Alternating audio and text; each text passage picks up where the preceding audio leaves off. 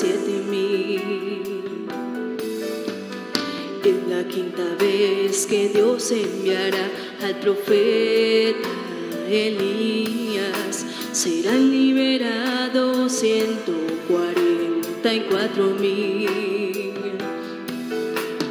Pero la cuarta vez que Dios ha enviado al profeta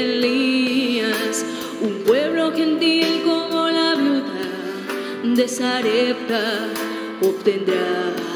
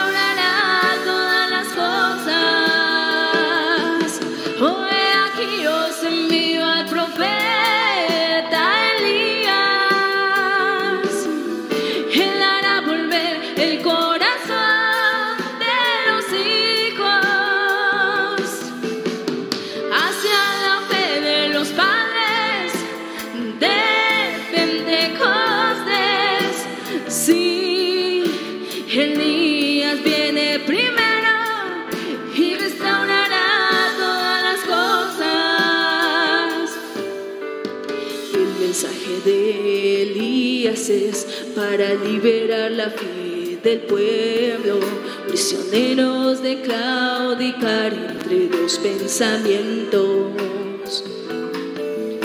sacando de escena el nicolaísmo y balamismo y después de la gran sequía por causa de Acab y Jezabel traer de regreso lluvia temprana tardía y mi pueblo nunca jamás será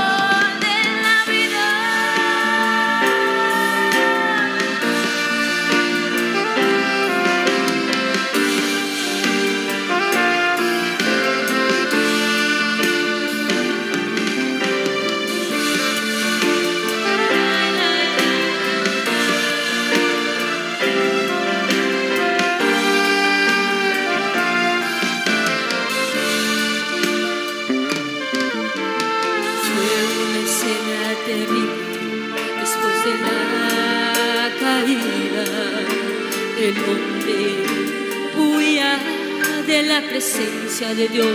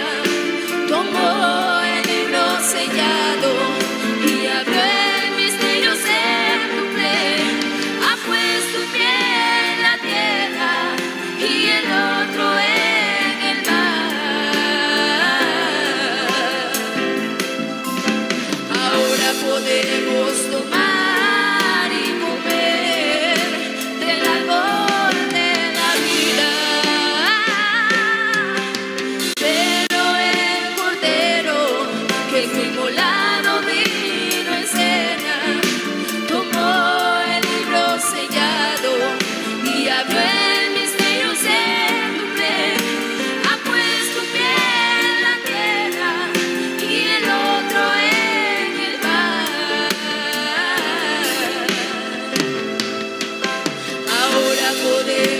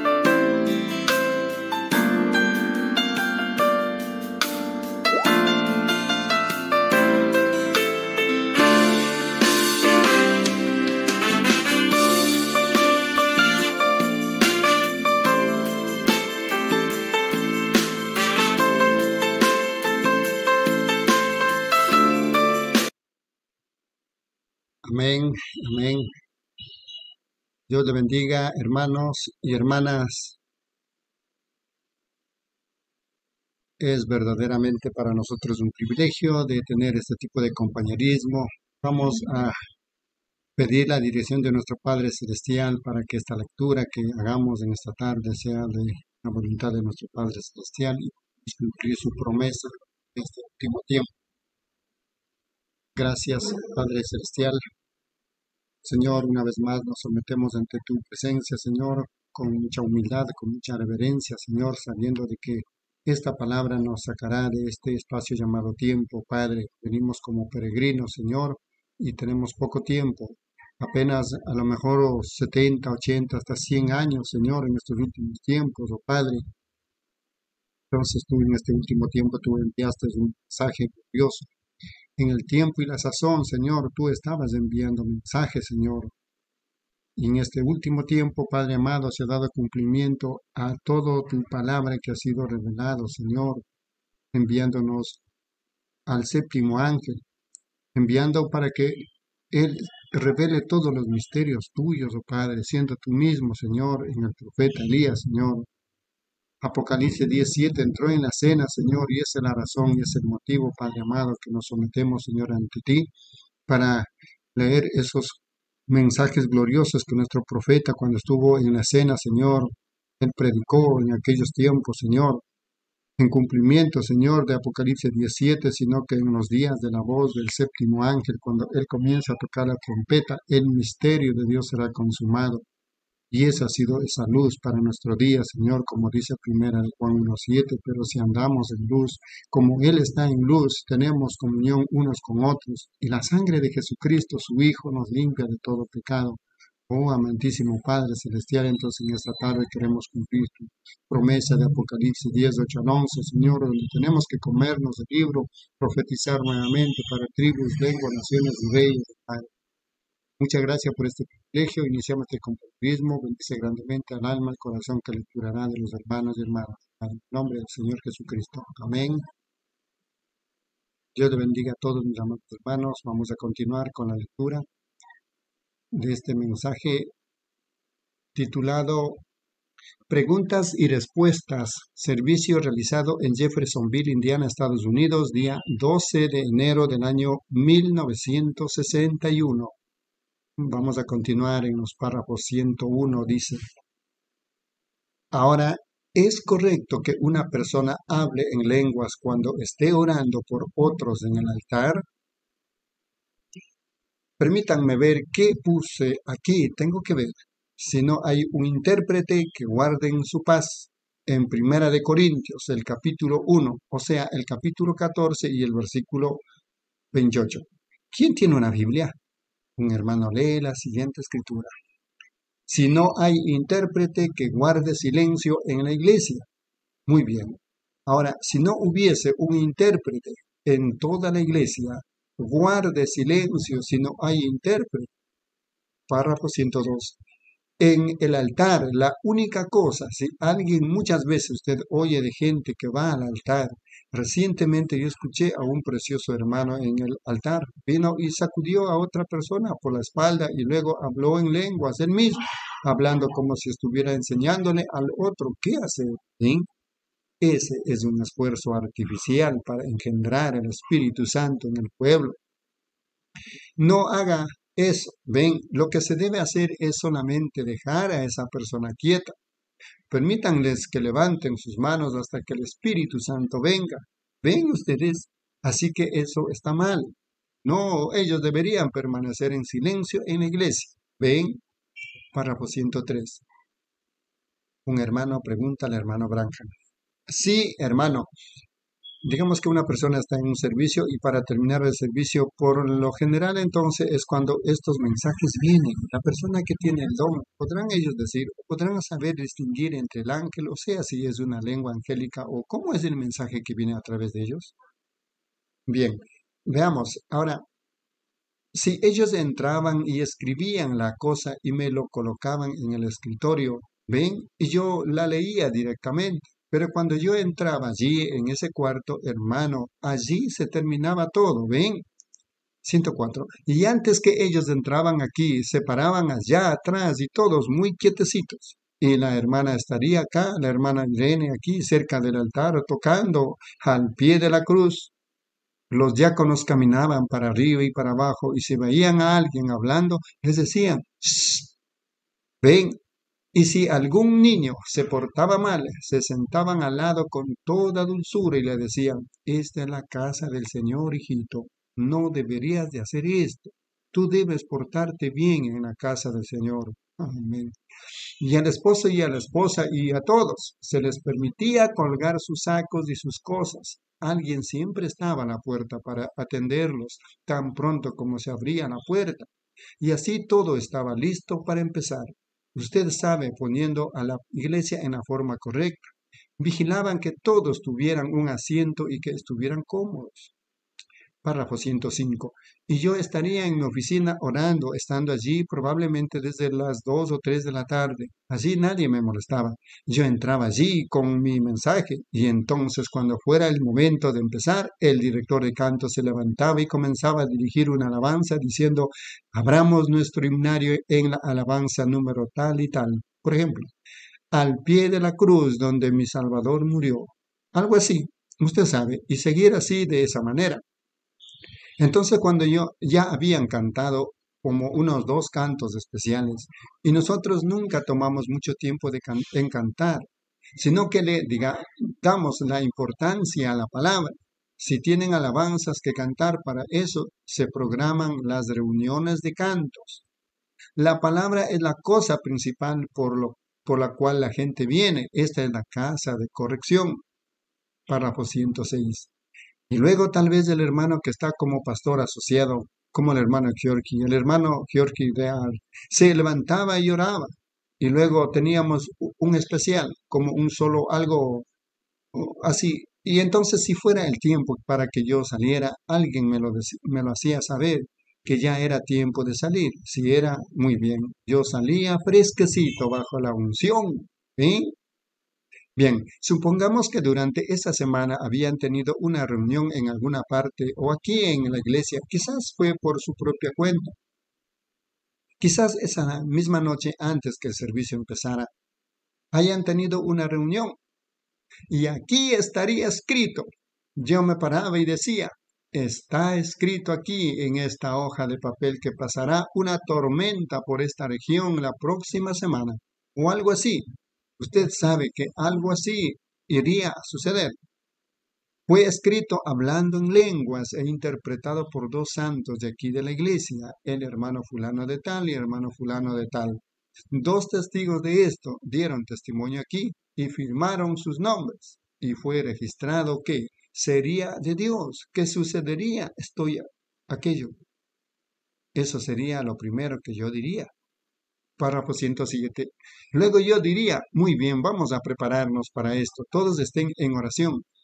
Ahora, ¿habrá alguna petición especial? Usted sabe, oremos, y allí parados oraríamos. Entonces entraba directo a la palabra, proseguíamos por la palabra. Luego, al concluir el servicio, se hacía el llamamiento al altar. ¿Ven? En el llamamiento al altar es en donde colocábamos mucha atención en el llamamiento al altar para atraer la gente al altar. Y después de terminar con el llamamiento al altar, tal vez entonces yo oraría por los enfermos. Algo así. El tiempo de culto fue tomado enteramente porque los espíritus de los profetas se sujetan al profeta. Párrafo 108.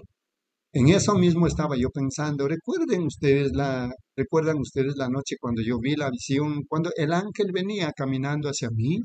Yo estaba sentado en mi habitación pensando y yo y era muy tarde en la noche.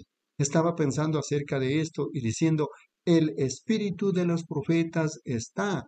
¿Cómo podría ser esto? Vi esa luz destellando y allí entró él caminando hasta donde yo estaba. Ven, así mismo fue cuando Él me comisionó, ven, para estas reuniones. Ahora, no es la persona que está dando el mensaje, creo que esa fue su pregunta. La persona que está dando el mensaje, ¿sabría él? La persona que está dando el mensaje, ¿podría él saber si fue o no el ángel del Señor?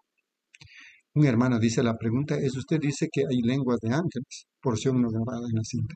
Y yo no pienso que el individuo podría saber. Ahora, así es como tenemos la cosa ahora. Pero vean, cuando tengamos las cosas como deben estar y tengamos reuniones especiales para esto. Párrafo 109. Vean, cada uno de esos es un ministerio. Digamos que usted habla en lenguas y él interpreta.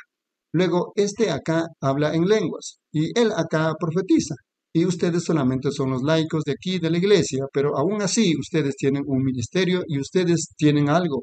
Ustedes están tratando de ayudar al reino de Dios y hacer algo por el reino. Por lo tanto, hermanos, reúnanse.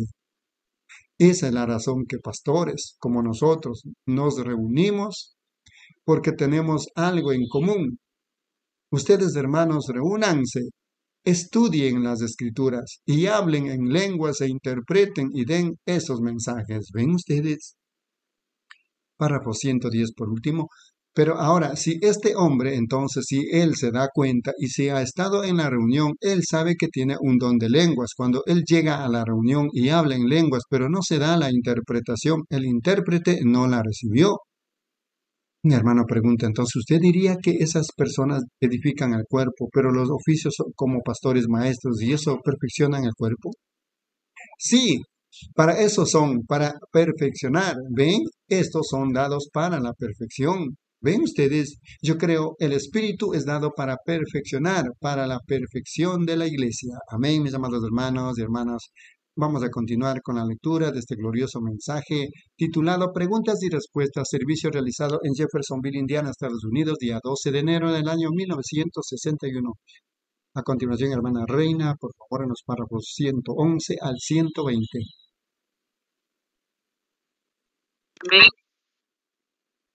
Continuando con la lectura del mensaje, preguntas y respuestas. Párrafo 111. Ahora, ellos, estas personas que hablan están llenos del Espíritu, no hay duda. Ahora, digamos que aquí está un hombre, quizás él esté hablando aquí en la reunión y él da, ahora, él habla antes de los intérpretes, ¿ven? Pero aún nadie recibe la interpretación. Entonces allí hay algo mal. El intérprete no puede hacer nada al respecto, ¿ven? Él tiene que interpretar por inspiración al igual que el que habla. Y este acá podría tener un verdadero don de hablar en lenguas, pero él no tiene el don de lenguas como un lenguaje, ¿ven? Y entonces la cosa que él debe de hacer es que cuando él usa esta lengua, entonces él ve ahora lo que él, él no está tratando de, si él está tratando de gloriarse una vez más, no pasa de ser un engreído. Él está mal para empezar. ¿Ven ustedes? Él nunca llegará a ninguna parte así. ¿Ven? Si él piensa, bien, bendito Dios, aquel simplemente no quiere interpretar mis lenguas. Ese es el problema. Ahora, ¿ve usted? Él está errado para comenzar allí mismo. Demuestra que él tiene un motivo incorrecto y un objetivo incorrecto, ¿ven? 112. Pero si él es dulce y humilde con esto, podría decir, bien, Tal vez el Señor no quiso usarme en su servicio, pero a pesar de eso, Él bendice mi alma. Él quiere edificarme y sé, y sé que yo estoy cerca de Él cuando hablo en lengua. Así que caminaré allá por el manzanar, oh Dios, y el poder empieza a caer sobre mí. Y empiezo a hablar en lenguas yo entro reanimado. ¿Ven ustedes? Oh Señor, tú me estás hablando a mí, tú me estás alineando al hablar yo en lenguas, ¿ven? Y Señor, hoy yo debería haberle hablado a ese hombre. Perdóname por, por eso, Señor. Yo, yo, yo pasé por alto algo que no debía. Padre, por favor, perdóname. Y directamente uno entra a hablar en lenguas. Ah, fui Ahora me siento mucho mejor respecto a eso. ¿Ven ustedes? Eso está bien. Vea, es que su don no es para ser usado en la iglesia, pero es más bien para edificarlo a usted mismo. Aquel que habla en lengua desconocida, a sí mismo se edifica. ¿Ven entonces? Entonces, si no hubiera un intérprete, entonces, ¿ven lo que quiero decir? ¿Ven? Así es, así que él mismo no lo sabría, él solo, pero él sabrá cuando él está errado. Bien, por ahora hay que dejarlo como está. ¿Ve usted? Esa es la única cosa que se puede hacer hasta que se puedan separar. Por eso yo pienso. Amén. 113 explique Primera de Corintios 14, 15. Perdón, 14, 5. ¿Quién la puede encontrar rápidamente? ¿Alguno de ustedes la encontró? Un hermano lee la Primera de Corintios 14, 5. Así que quisiera que todos vosotros hablaseis en lenguas, pero más que profetizaseis, porque mayores el que profetiza que el que habla en lengua, a no ser que las interprete, las interprete para que la iglesia reciba edificación. Muy bien, quisiera, quisiera que todos vosotros hablaseis en lenguas. Pablo estaba tratando de decir a la iglesia, como decir, ustedes, ustedes son mi iglesia. Algunas de las iglesias de Pablo no tenían ni tantos miembros como los que tengo yo aquí, ¿correcto? Algunas veces eran 10 o 12, ¿ven? ¿Ven? Ahora, ahora él dijo, así que quisiera que todos vosotros habléis en lenguas. Eso lo sorprendió. Vean pues que la iglesia en Hechos 19, yo creo que tenía como 12 miembros, ¿ven? Eran muy pocos, eran misioneros, ¿ven ustedes? Así que siempre ha sido en una minoría, ¿ven? Y yo creo que dice que eran como unos, como una docena de hombres y mujeres en esa iglesia. 114. Ahora, si ustedes vean, vean esto. Él dijo, así que quisiera que todos vosotros habléis en lengua. Yo quisiera que todos hable, hablaseis, que todos hablaseis en lenguas, que estuvieseis tan llenos del Espíritu Santo, que hablaseis en lenguas, pero Dijo, pero más prefiero que profetizaseis a menos que haya interpretación, que hubiese interpretación. ¿Cómo dice allí? ¿Quién la encontró? ¿La tiene en la mano? Leámosla otra vez, escuchen. Un hermano empieza a leer en Primera de Corintios 14:5. Así que quisiera que todos vosotros hablaseis en lenguas. Espérense un momento. Así que quisiera que todos vosotros hablaseis en lengua. Pero que profetizaseis, pero que profetizaseis, porque mayor es el que profetiza que el que habla en lenguas. Espérese un momento. Ahora, ¿quién es mayor que el que profetiza? Allí es en donde usted quiere que yo me detenga. Un hermano dice, yo solo estaba diciendo que había una diferencia. ¿Sí? ¿Ven? Sí. Ahora, aquí es en donde, bien, digamos, por ejemplo, que en esta noche tuviéramos en nuestros medios a dos hombres indoctos. Ellos no saben nada de esto y yo entro y todos ustedes y daríamos comienzo aquí a esta reunión y ustedes empezarán a hablar en lengua. Cada uno de ustedes solamente hablarán en lenguas, hablarán en lenguas, hablarán en lenguas y hablarán en lenguas. Y bien, ¿qué sería? El indocto diría, todos están locos, ¿ven? Pero si uno profetiza, ¿ven?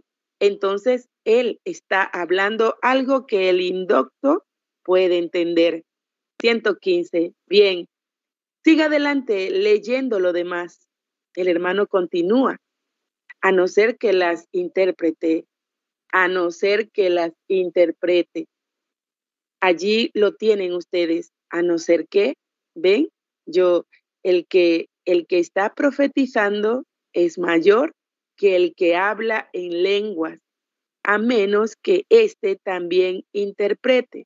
Bien, siga adelante, ven, para que la iglesia tome edificación. Allí lo tienen ustedes, ven, la iglesia es edificada. Bien, en otras palabras, la iglesia, esta persona aquí, este hombre aquí, es un indocto. Usted simplemente está sentado aquí entre nosotros en esta noche y nosotros estamos en esta reunión. Todos estamos aquí hablando. Estamos deseando conocer más del Señor y todos ustedes empiezan a hablar en lenguas. Nadie dice nada, sino que empiezan a hablar en lenguas.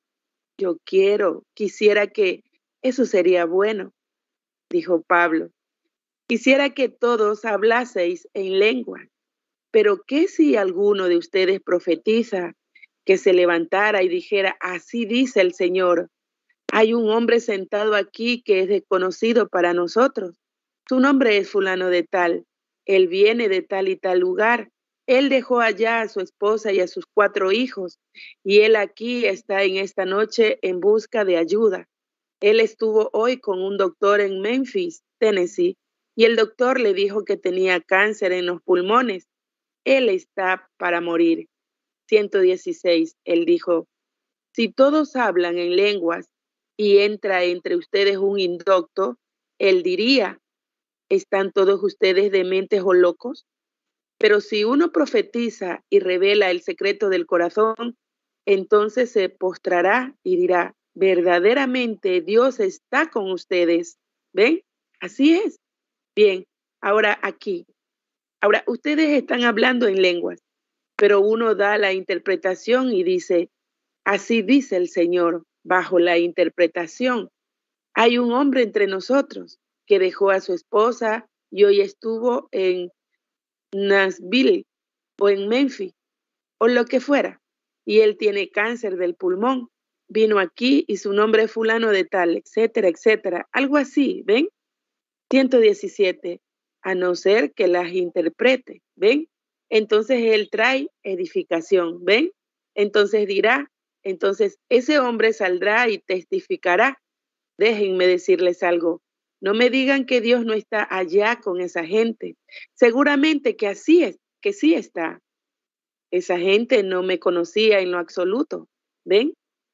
Así que nosotros deseamos los dones de profecía, más dones de hablar en lengua.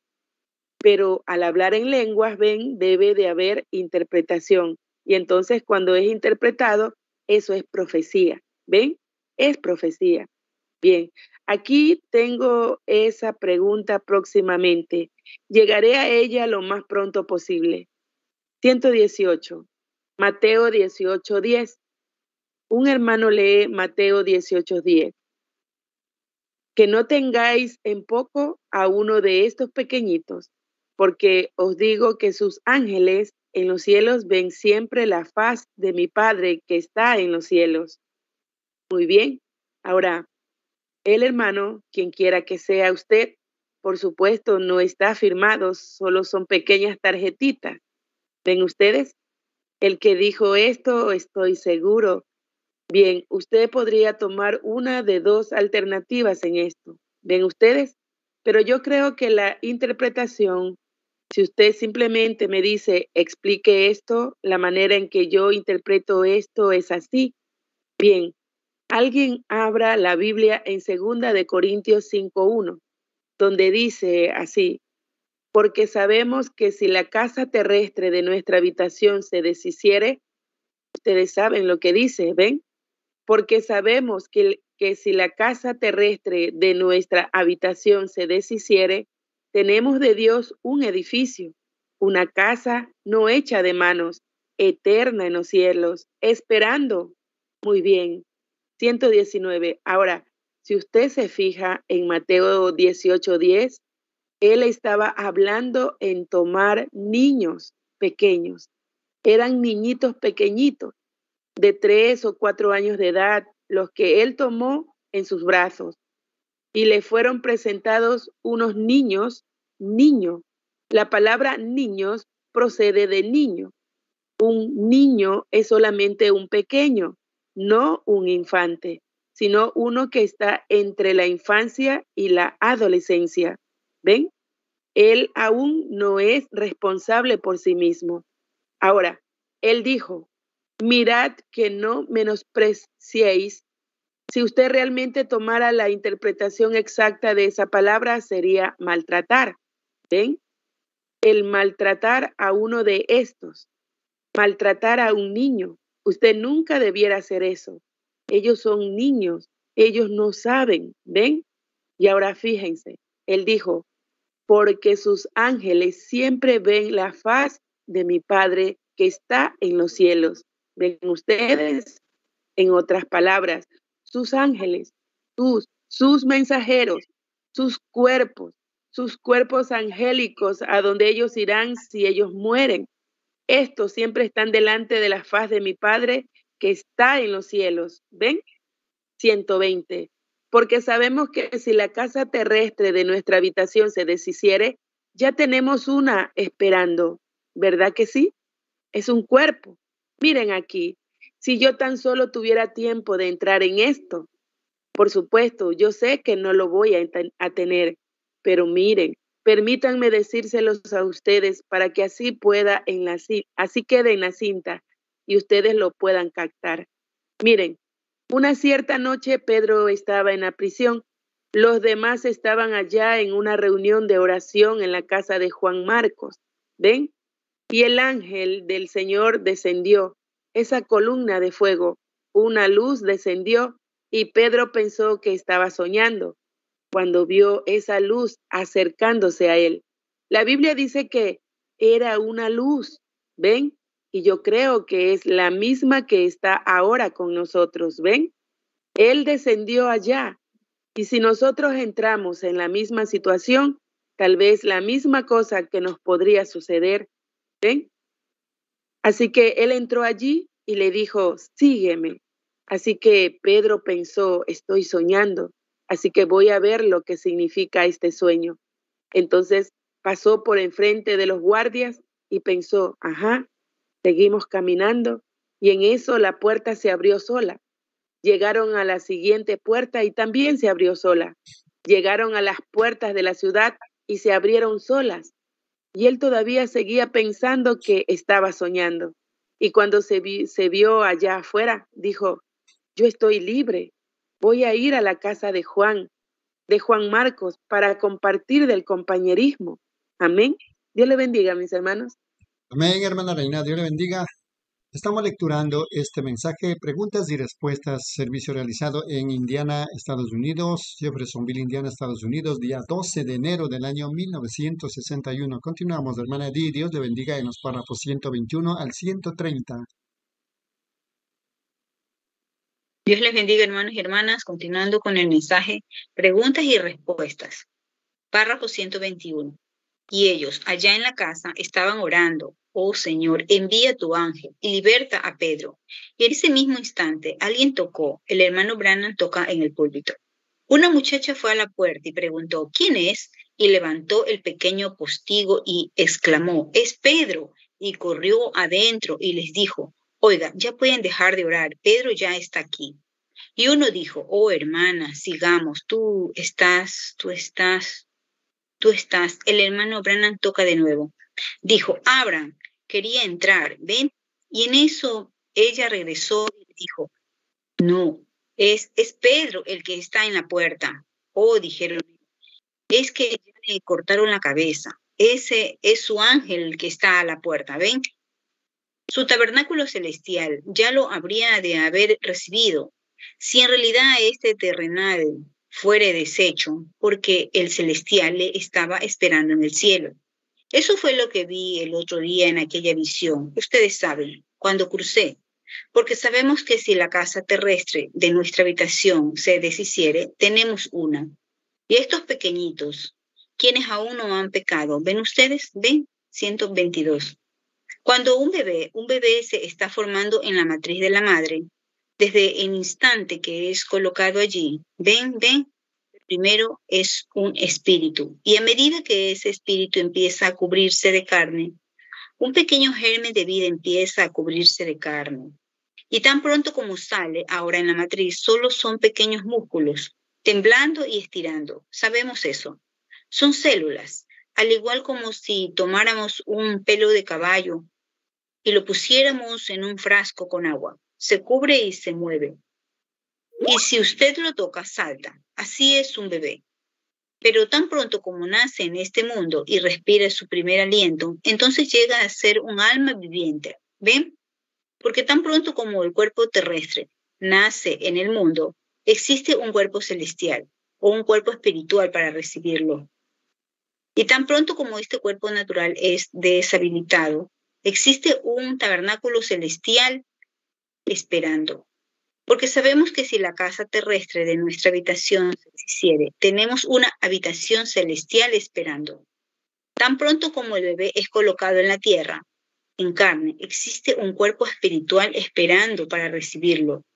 Y tan pronto como el cuerpo espiritual, o más bien el cuerpo natural, es deshecho, existe allá un cuerpo espiritual esperándolo. ¿Ven? Una teofanía, que nosotros llamamos. ¿Ven? Una teofanía. 123. Un hermano pregunta, ahora, ¿eso es temporal mientras esperamos la resurrección de este cuerpo? Sí, oh sí. ¿Es en esa condición que viviremos hasta que éste sea resucitado? Correcto. Ven, ven. Aún no ha sido revelado a los hijos de los hombres. Yo creo, yo, yo sé que lo vi. Ven, pero no sé qué clase de cuerpo es, pero yo sí podía sentirlos de la misma manera como yo siento sus manos o cualquier otra cosa. Por supuesto, esto está grabado en cinta y ustedes quizás lo estén escuchando aún años después que yo me haya ido. ¿Ven ustedes? Pero, ¿y aquello? Lo que haya sido, ¿ven? Yo estaba tocando a esa gente y los abrazaba, y era tan real como lo son ustedes.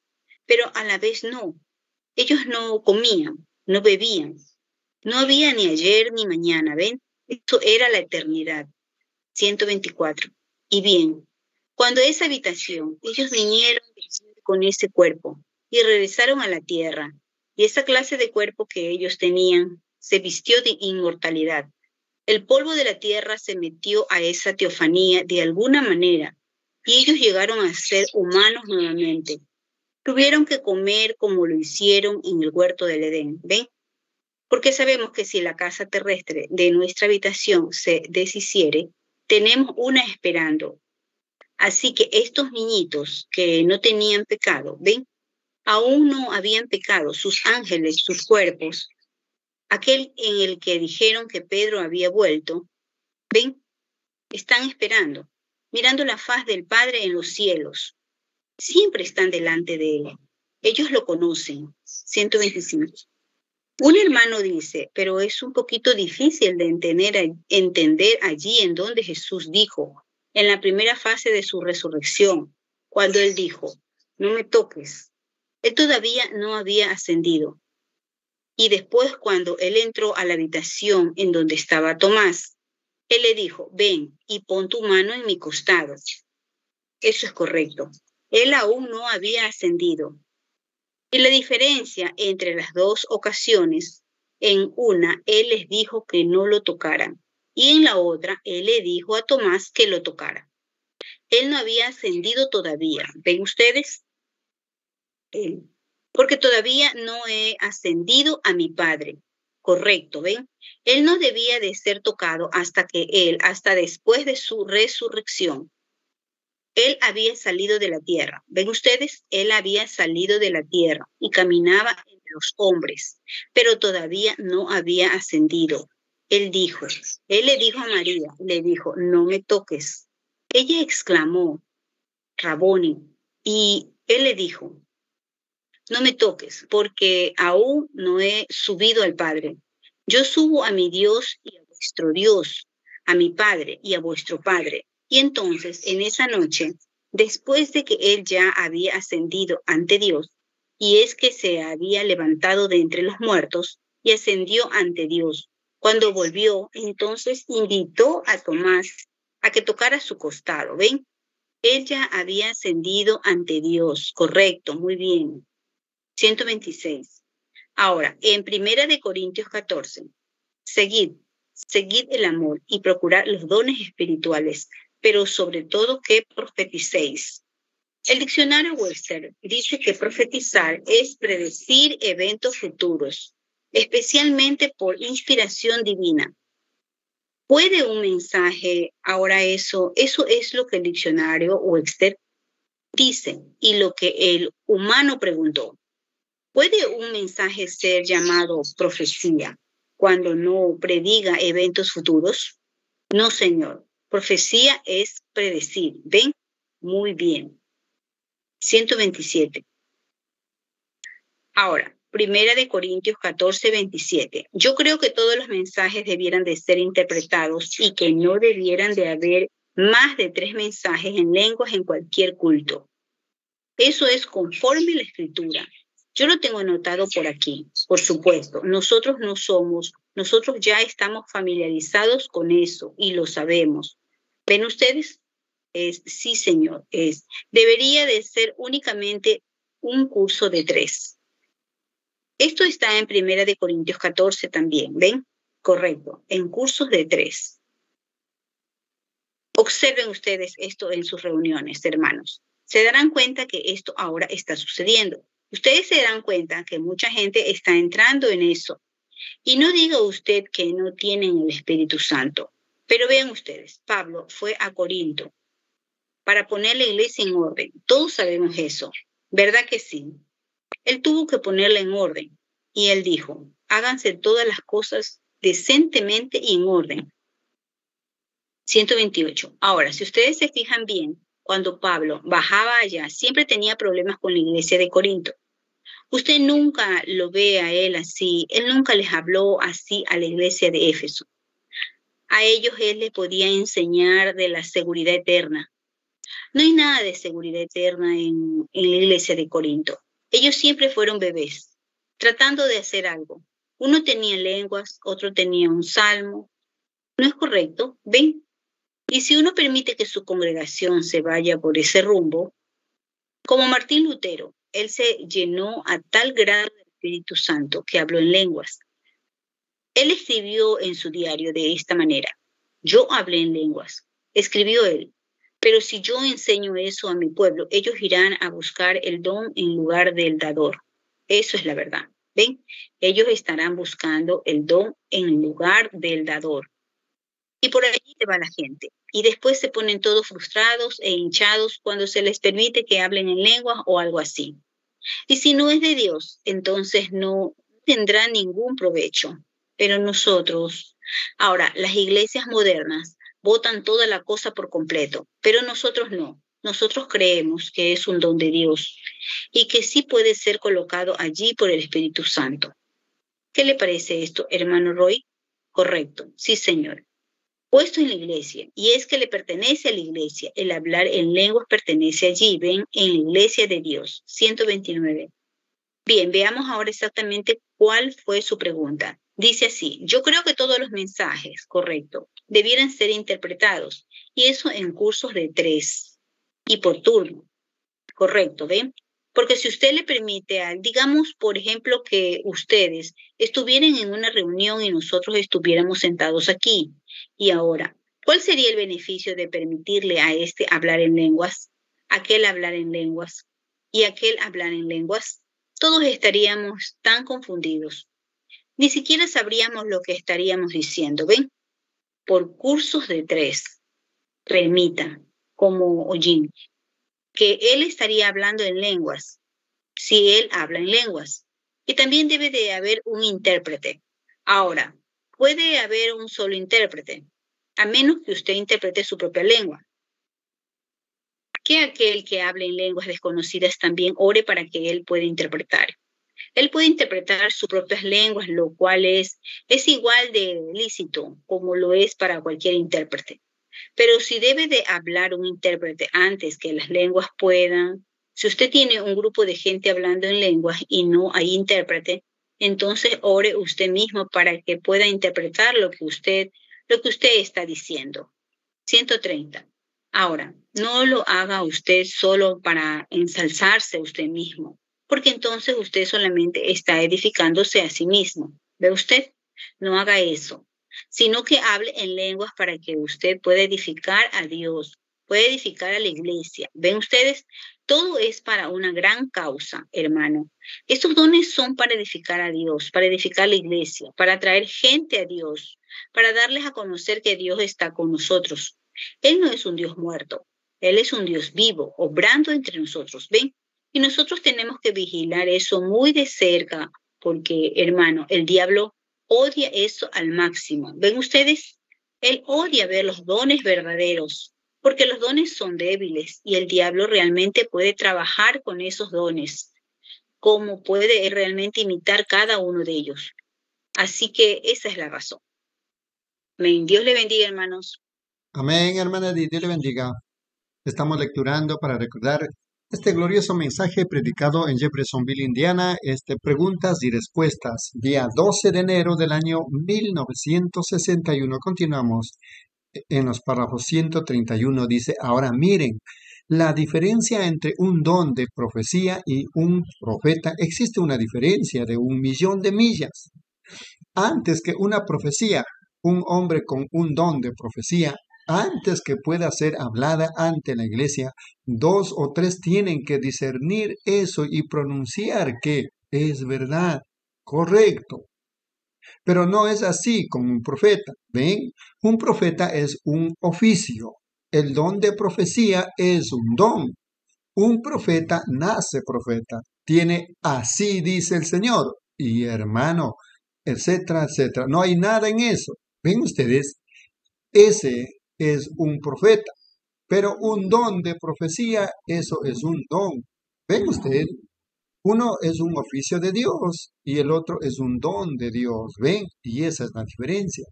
Párrafo 132. Ahora, los mensajes. Digamos, por ejemplo, que sería de esta manera. Digamos que el hermano Junior será quien interprete, quien interpreta en esta noche. Nosotros ya conocemos eso. Él es un intérprete. El hermano Neville es un intérprete. Bien, él interpreta lenguas. Bien, sabemos eso. Ahora, ¿qué tal si estamos sentados aquí correctamente y el Espíritu de Dios reventándose para hablar? válgame Dios, y tenemos, tenemos, tenemos, pero esperemos, el servicio va a empezar en, unos minutos, ¿ven? Tenemos nuestra reunión antes que el servicio principio. Lo estoy poniendo en orden como nosotros lo tenemos aquí. Bien. Y entonces cuando uno menos lo piensa, se levanta el hermano Rudel y habla en lenguas. Pero esperen un momento. ¿Ven? Junior se para y dice, así dice el Señor, esta y esta cosa. O alguien por ahí, los escribas de aquí lo estarían anotando, ¿ven? Todo lo que se dice, escribiéndolo rápidamente, porque así se obtiene fresquecito exactamente lo que dice. Muy bien, ellos. Ahora, si es rechazado, entonces es mejor que usted lo deje, ¿ven? Rómpalo. Pero si no es rechazado y es aceptado por dos personas, entonces es escrito y ellos lo firman. ¿Ven ustedes eso? Eso, eso es para su iglesia. Esto es, le estoy diciendo esto a ustedes para su beneficio. Ven, yo no sé si así lo hacían allá en el principio o no. Párrafo 133. Y cuando uno menos lo piensa, oyen, se levanta y habla en lenguas. Ahora, puede ser que el intérprete reclame el mismo mensaje. ¿Ven? Puede ser la misma cosa, una cierta cosa por suceder, una profecía, ven, algo que está por suceder o algo que usted debe hacer. Enseguida el hermano Robertson de repente se pone de pie allá atrás y habla en lenguas. Muy bien, todavía podría ser el mismo mensaje, con la misma interpretación, ven, o bien podrían ser tres mensajes distintos. Ahora, Dios no va a dar 50 mensajes en una sola noche. Sabemos eso, porque no se podrían captar. Ven ustedes, pero cualquier cosa que esté oprimiendo a la iglesia, como o algo que lo esté haciendo, esto es para la edificación de la iglesia. ¿Ven? Entonces yo, yo, yo no permitiría más que eso. ¿Ven? Porque dice que sea por cursos de tres. ¿Ven? 134 el párrafo. Solo por cursos de tres. Entonces yo les diría, escríbanlos y pónganlos en el púlpito. ¿Ven? Luego, al día siguiente por la noche nos reunimos otra vez. ¿Ven? Y si hay algo que esté por suceder entre hoy y mañana por la noche, Dios lo hablará en uno de esos mensajes. ¿Ven lo que quiero decir? Que sea por cursos de tres. Y ahora estoy pensando que el diccionario Wester dice que la profecía puede ¿Puede un mensaje ser llamado profecía cuando no predice el futuro? No, si es profecía es que está profetizando, prediciendo algo que está por suceder. Eso está bien, es verdad. 135. Muy bien, creo que ahora esta es la última hasta que lleguemos a estas aquí. Hermano Branham, cualquiera de estas puede, hermano Branham, cualquiera de estas preguntas está escrito en máquina de escribir y está casi borrado. Pueden cualquiera de estas preguntas, hermano Branham, cualquiera de estas preguntas que usted no se sienta dirigido al contestar o comentar. Sí. Comentar sobre ellas, hágalas a un lado, no me voy a sentir mal en absoluto. ¿Cuáles son las obligaciones completas de un diácono de acuerdo a la escritura? Bien. Yo, yo creo que tienen eso escrito allí afuera. Si es, yo sé que es uno de los diáconos que, de nuestra iglesia. Creo que las tienen escritas en orden allí. Debiéramos sacar algunas copias más y dárselas a cada uno de nuestros diáconos si no lo hemos hecho. Podríamos sacar algunas copias de eso, uno de, o ustedes el hermano Leo, o alguno de ellos, hacer como, hacer como seis u ocho copias de eso y dárselos a nuestros diáconos. Allí están las obligaciones, escrituralmente lo que un diácono debe hacer. Párrafo 136. En el caso que tuviéramos una profecía o un mensaje en lenguas fuera de orden, ¿cómo debiéramos corregirlo? Bien, este sí es un buen caso de emergencia. Ven, ahora, Dios le bendiga a usted, diácono, el que mencionó esto, porque esta es una cosa buena y se requiere manejo con guantes de goma. Ahora, si da, da un si alguien viene aquí a nuestra congregación y da un mensaje o una profecía fuera de orden, no hay casi nada que usted pueda hacer al respecto si están en la audiencia. ¿Ven? Ustedes solamente, ellos ya saben que están fuera de orden y muy posiblemente pueden arruinar, puede arruinar el servicio. ¿Ven? Pero si así sucede, la mejor cosa que un diácono puede hacer es quedarse quieto. Ven, porque el profeta en la plataforma es el que de hecho ustedes son su protección. Ustedes son su policía, ven, ustedes son sus guardias, ven. Ahora, si es alguien de nuestra congre si es alguien fuera de nuestra congregación, la persona no está entrenada, ven, no están entrenados. Eso es lo que estamos tratando de obtener aquí para saber qué hacer. Nosotros entonces sabremos cómo entrenar a nuestra gente. Pero si es uno de afuera de nuestra congregación, bien, nosotros no sabemos cómo esa pobre persona está entrenada. 137. Por ejemplo, como Billy recordará esto, sucedió en Costa Mesa, California. Cada vez que yo estaba listo para hacer un llamamiento al altar, una mujer se levantaba y corría por los pasillos hablando en lenguas y totalmente destruía el llamamiento al altar. Y tenía que terminar la reunión y salir.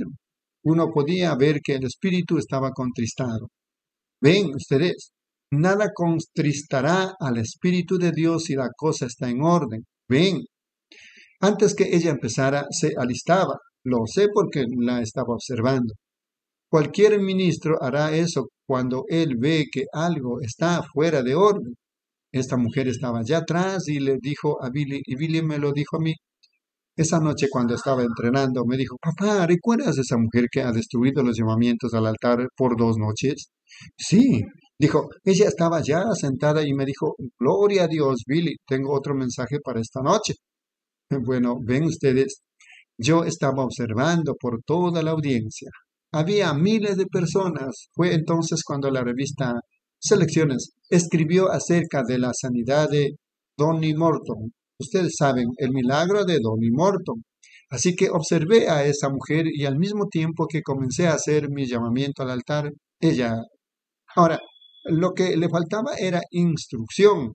Sin duda era una buena mujer. Ella miró todo alrededor y empezó a arreglarse el pelo y por cierto tenía pelo corto. Ven. Así que pueden ver, ella pertenecía a las asambleas o alguna de esas iglesias que permiten eso. Así que se arregló el pelo. Luego se inclinó y se arregló las medias y así se alistó. Y cuando empezó y cuando empecé yo a hacer el llamamiento al altar, pregunté, ¿cuántos aquí, cuántos aquí presentes quieren pasar al frente y entregar su corazón al Señor Jesús? Párrafo 138. Ella se paró y yo le dije, siéntese ella empezó a hablar y yo le dije, siéntese, ven. Y hermano, todos allí, tuve que parar todo. Ella actuó como que no me había oído y le grité una vez más. Esa vez sí me oyó, pues casi sacudí todo el auditorio con ese micrófono tan potente y ella se sentó. Y dije, bien, como estaba diciendo, ¿cuántos desean venir al altar y entregar su corazón a Dios? Y continué con la reunión. Y esa noche cuando salí hacia mi camioneta, estaba todo rodeado. Allí estaban todas aquellas mujeres rodeando. Se oían como unas gallinas, usted sabe, y me dijeron, usted blasfemó al Espíritu Santo. Dije yo, ¿cómo puedo yo blasfemar al Espíritu Santo si estoy siguiendo la declaración de las Escrituras? ¿Ven? Y esa mujer me dijo, yo tenía un mensaje directamente de Dios. Le dije, pero hermana, usted lo estaba dando en un tiempo que no era apropiado. Le dije, yo no estoy, usted me está diciendo que eso no era, que no era de Dios. Dije, no podría yo decirle, señora. Le dije, yo, yo, yo creo que sí era. Ven, le dije, lo diré así para su beneficio, que yo creo que sí era. Y yo creo que usted es una buena mujer, pero usted estaba fuera de orden. Y allí también estaba parado su pastor. Yo sabía que era su pastor, Ven. Y le dije, solamente le puedo decir esto. O es que usted estaba en la carne, o es que usted tiene un pastor que la ha instruido y que no sabe nada de las escrituras. Él debería venir y hablar con nosotros un poco acerca de las escrituras. Eso está muy mal. Usted estaba fuera de orden. A causa de usted se perdieron muchas almas antenoche y muchas anoche también, y hubiera pasado lo mismo en esta noche. Y este hombre me dijo, hermano Branham, dispense usted. Y le dije, dígame usted. Dijo, ella tenía derecho de dar ese mensaje, usted ya había terminado. Le dije, yo estaba en la plataforma y el espíritu de los profetas está sujeto al profeta. Yo todavía estaba en la plataforma. Y él dijo, bueno, pero dije, yo todavía tenía el mensaje. Yo estaba haciendo mi llamamiento al altar y eso es para recoger. Yo había echado la red y ahora la estaba jalando. No estén tirando alambre de púas o algo así para dañarla. ¿Ven? Dije, yo todavía estaba jalando mi red. Y le dije, ella se interpuso y estorbó la recogida de las almas. ¿Qué beneficio tiene predicar o hacer otra cosa si uno no hace un llamamiento al altar y da lugar a, que vengan los pecadores? ¿Ven ustedes? Y él me contestó, bueno, pero el mensaje de ella vino después del suyo. El de ella vino más directo que el de la plataforma. El de ella vino directamente de Dios. Entonces dije yo, si alguno se cree profeta o espiritual, reconozca que lo que os escribo son mandamientos del Señor.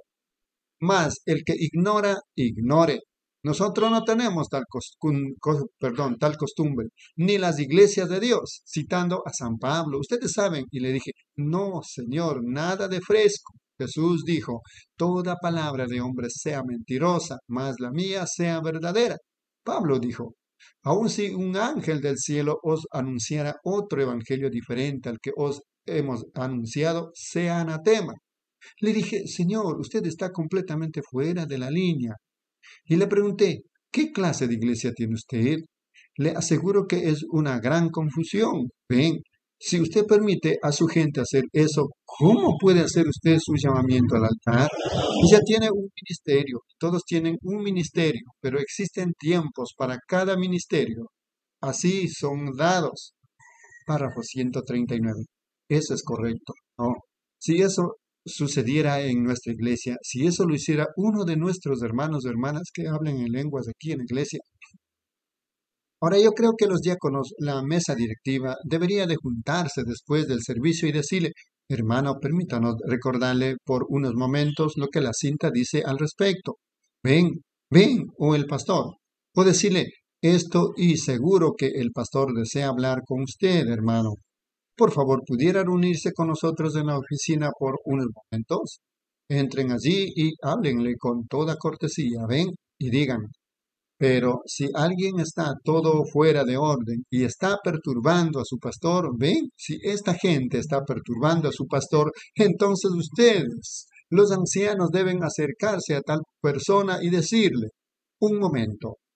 Y si el pastor les da una señal para que ustedes lo paren, es porque él ya captó el espíritu hasta allá arriba de esta que esta persona está destruyendo el espíritu de la reunión. Ven ustedes.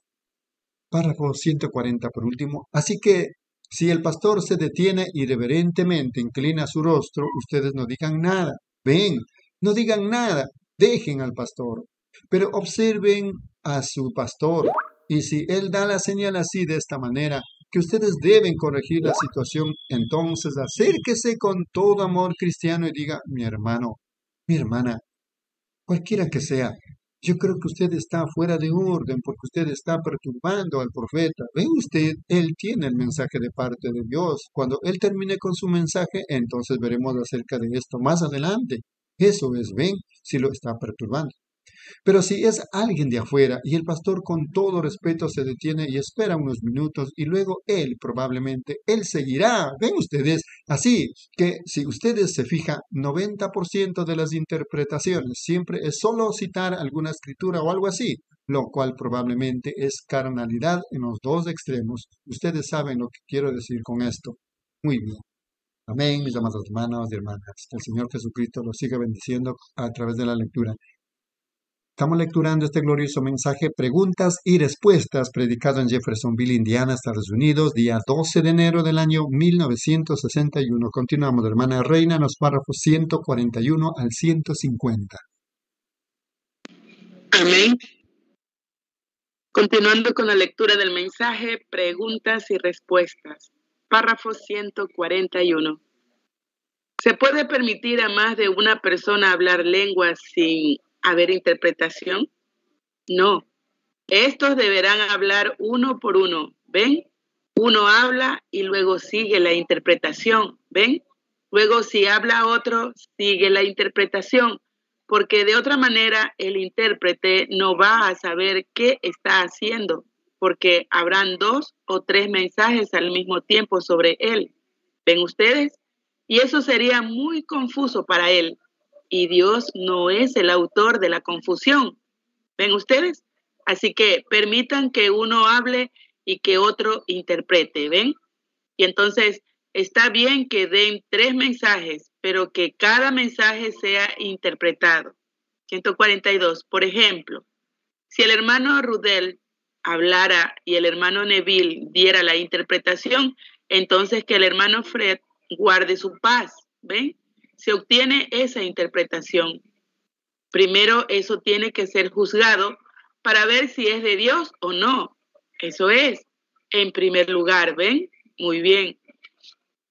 Ahora, si el hermano Rudel habla y el hermano Willer habla y el hermano Neville habla, luego el pobre intérprete tiene tres mensajes al mismo tiempo. ¿Cómo va a saber qué hacer con eso? ¿Ven? Déjenlo quieto. De usted, su mensaje y luego guarde su paz. Espere. Si algo es revelado al que está sentado enseguida, que guarde su paz, que se quede quieto. ¿Ven? y permitan que venga la interpretación. Y cuando venga, entonces escríbanla y vean qué es lo que dicen los que disciernen. ¿Ven? Si ellos dicen, esto es de Dios, muy bien, es un mensaje, se escribe. Luego esperan un momento y cuando usted menos piensa, el espíritu se mueve acá en este y él habla. Entonces el intérprete espera un momento para ver lo que el Espíritu Santo va a decir. Luego Él sale con ese mensaje, ¿ven ustedes? Y eso se escribe, ¿ven? Y que sea en cursos de tres. 143. Hermano Branham, nosotros sabemos que usted es un mensajero enviado de Dios para esta edad de la iglesia. Las mismas señales que siguieron a Jesús las vemos siguiéndolo a usted y no entendemos por qué es que algunos que le conocen a usted mejor que otros, ellos piensan que usted es el Mesías. ¿Nos podría usted explicar la diferencia en su relación con Dios y la que tiene Cristo? Bien, yo sé, hermanos, que esto es verdad, pero esperen un momento. Tengo algo escrito aquí. Esperen un momento. ¿Ven? Muchas veces es malentendido. ¿Ven? pero algunas veces en la persona, quiero que algunos de ustedes abran sus Biblias conmigo en Lucas, el capítulo 3 y el verso 15. Mientras ustedes lo encuentran, quizás les diga cuando la encuentren que es Lucas 3. Pudiera estar en, bueno, permítanme, no hay por qué cerrar la puerta porque nadie está allí. Permítanme hacerles llegar esto a ustedes, hermanos. Ustedes lo han escuchado, está por todos lados, pero déjenme decirles, ven, tiene que venir de esa manera, tiene que venir de esa manera. Si no fuera de esta manera, yo me arrepentiría de mi mensaje. 144. Escuchen, hermanos. Yo les conjuro delante de Cristo que ustedes guarden su paz en esta parte, pero si ustedes fueran espirituales, lo entenderían. ¿Ven? ¿No recuerdan ustedes la primera cosa que él dijo allá en el río? ¿No recuerdan ustedes lo que él dijo? Así como Juan el Bautista fue enviado para ser el precursor de la primera venida de Cristo, así tu mensaje es el mensaje lo que precursará la segunda venida de Cristo. Eso fue lo que dijo el ángel del Señor. Ahora, fíjense, como Juan el Bautista. Ahora, todos ustedes han escuchado eso, lo han leído en libros, lo han escuchado de personas que lo escucharon estando ellos allí presentes y de todas partes, cuando aquel ángel, él mismo habló ese mensaje. Como Juan el Bautista fue enviado como precursor de la primera venida de Cristo, tú serás enviado con este mensaje para ser precursor de la segunda venida de Cristo. Ahora, el mensaje 145. Bien, si se fijan, yo, el pequeño Willy es el que puso mi nombre debajo de esa estrella y por eso yo le puse algo encima, porque yo no pienso. Ahora, voy a ser lo más honesto que pueda. Yo no creo que yo tenga nada que ver con ese mensajero. ¿Ven? Correcto. Yo creo que tal vez yo quizás sea enviado para ser parte de su iglesia para ayudar a edificar ese mensaje a un lugar que si cuando este precursor aparezca y él sí aparecerá, pero yo creo que yo siendo lo que soy, yo creo que yo tengo el mensaje del día. Yo creo que esta, que esta es la luz del día y yo creo que está apuntando hacia ese tiempo que viene. Ven ustedes, yo creo que el mensaje que él proclamó allá el mensaje que tú tienes. Ahora, si ustedes se fijan que esa estrella que se levantó allá era una 146, permítanme explicarme. Yo sé que estoy economizando el tiempo y tengo estas otras preguntas tan buenas. Yo no quiero, ya se pasaron las 10 y yo sé que quieren irse a sus casas, ¿ven? Pero escuchen esto, permítanme mostrarles algo. ¿Me pueden dar unos minutos más? Muy bien. Miren, permítanme decir algo. Ahora, ustedes, hermanos, guarden esto entre ustedes mismos. ¿Ven? Guarden esto entre ustedes mismos.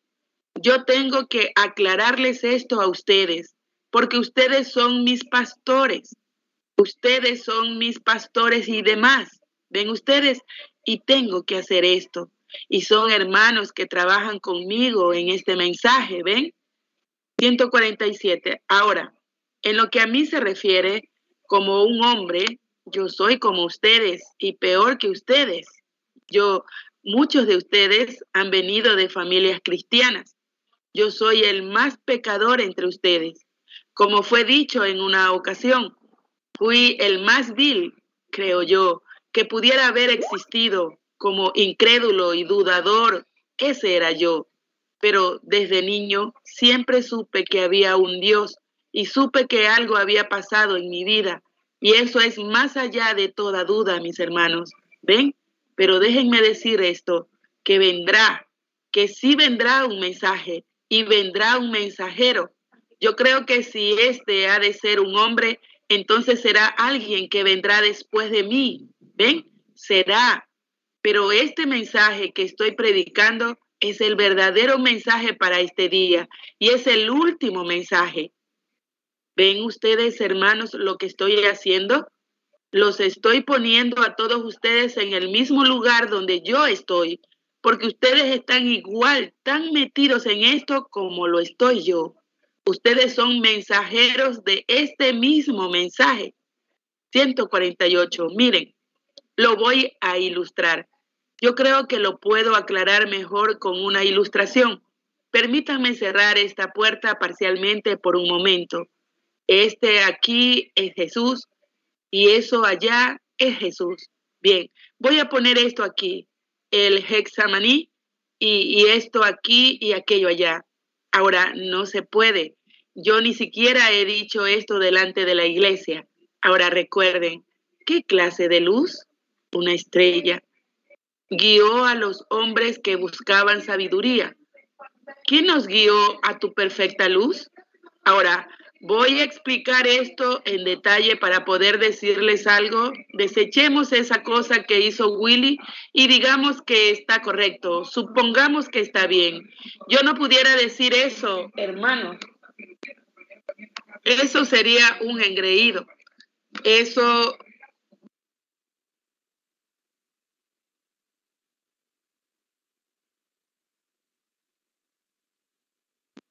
yo no lo diría. Aun si yo lo creyera, yo no lo diría, ¿ven?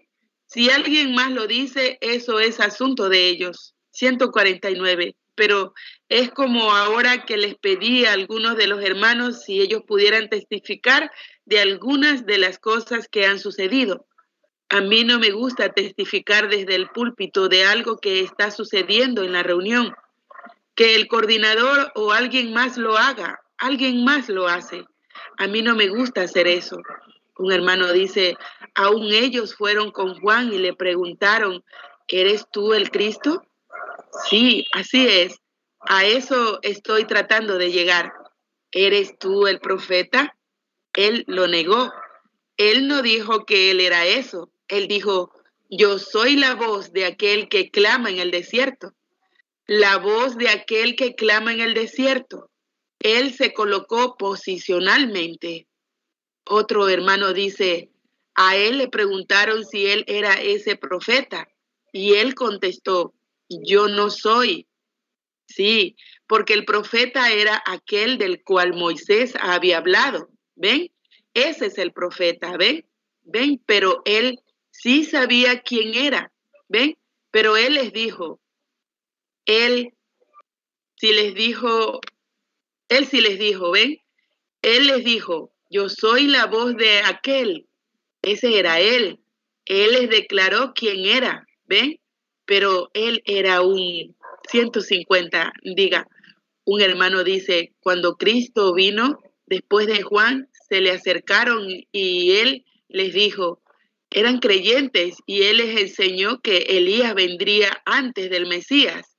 Él dijo, si podéis recibirle. Ese era él, correcto, correcto. Y Juan siguió diciendo, yo no soy nada, no soy nada. Yo no soy digno ni de desatar sus sandalias. Pero, ¿qué de cuando Jesús habló acerca de él? Él dijo, ¿a quién salisteis a ver? Sí, sí, ¿salisteis a ver a una caña movida por el viento? ¿O a quién salisteis a ver? ¿A algún hombre vestido con ropas finas y lujosas y cosas así? Él les dijo, ellos están en los palacios de los reyes. Pero ¿salisteis a ver a un profeta? Yo digo que sí, y más que un profeta. Él en realidad era más que un profeta. Él era el mensajero del pacto. Eso era. Él era más que un profeta. Él dijo, nunca ha habido un hombre nacido de mujer hasta este tiempo tan grande como él. ¿Ven? Eso era. ¿Ven? Él era el mensajero del pacto. Él fue el que lo introdujo y dijo, este es él. Todos los demás profetas hablaron de él, pero Juan dijo, este es él. ¿Ven? Amén. Dios le bendiga, mis hermanos. Amén, hermana Reina. Dios le bendiga la lectura. Estamos lecturando, mis amados hermanos, este mensaje, preguntas y respuestas predicado en Jeffersonville, Indiana, Estados Unidos, día 12 de enero del año 1961. Continuamos con la lectura. Hermana Edith, por favor, en los párrafos 151 al 160. Dios le bendiga, hermanos y hermanas. Continuando con la lectura del mensaje, preguntas y respuestas. Párrafo 151. Ahora fíjense, noten esto. Los magos siguieron a una estrella lo voy a tener en una forma más pequeña. ¿Ven?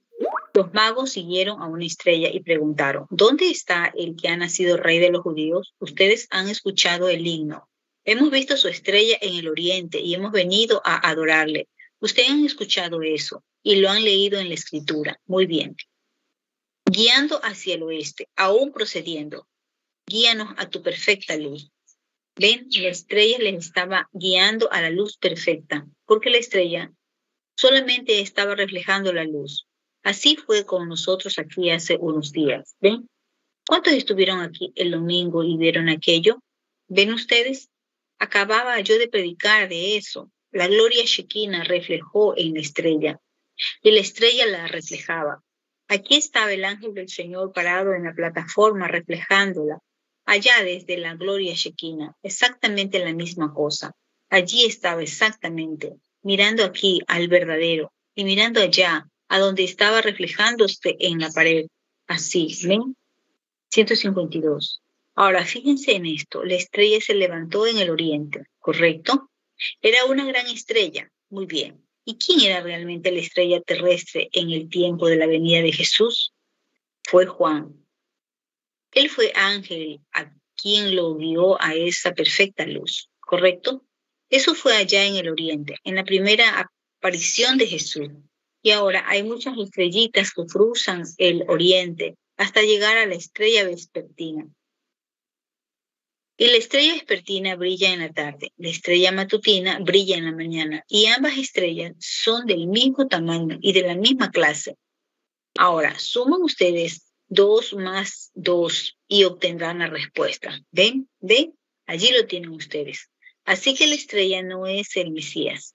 Él solamente está reflejando a el Mesías. 153. Ahora, la estrella no refleja su propia luz, la estrella más bien refleja la luz del sol, ¿correcto? Un hermano dice, no. ¿Cómo? En cierto sentido, la luna sí lo hace. Las estrellas reflejan su propia luz. Sí, la luna, sí, realmente. Lo que yo realmente quería decir es que la luna refleja la luz. Sí. Ahora, si una estrella refleja su luz, entonces su luz tendría que venir de Dios porque es como una especie de glaciar. ¿No es así? El hermano dice sol. ¿Cómo? Un sol mismo salido del sol. Los soles están más lejos que nuestro sol. Sí. Y se nos ha dicho que estos soles provienen del gran sol. El sol arrojó estos proyectiles y son pequeños proyectiles ardiendo como el sol.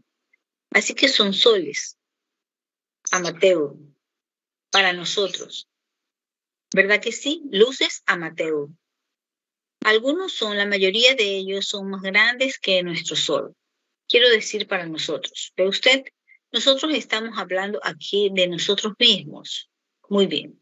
154. Ahora, si ellos son soles para nosotros o dadores de luz, ellos son parte del dador principal. ¿Ven? El gran sol nos da la gran luz, la luz perfecta. Los pequeños soles o las pequeñas estrellas, los cuales nosotros podemos ver como cuerpos, aunque tal vez estén más allá del sol que brilla, pero lo que ellos nos reflejan a nosotros es una luz más pequeña. Pero ellos únicamente están dando testimonio de una luz, ¿verdad que sí? Entonces cuando el gran sol se levanta, los pequeños soles se apagan, ¿correcto? Ellos no son sol para nosotros, ellos son un reflector como el sol. ¿Ven lo que quiero decir? Ahora, el más grande entre ellos en la mañana, que anuncia la salida del sol, la puesta del sol y la salida del sol, es la estrella matutina y la estrella vespertina, ¿correcto? Dos de las estrellas más grandes, la estrella del oriente y la estrella del poniente. 155. Ahora, ¿ven ustedes a dónde está el punto?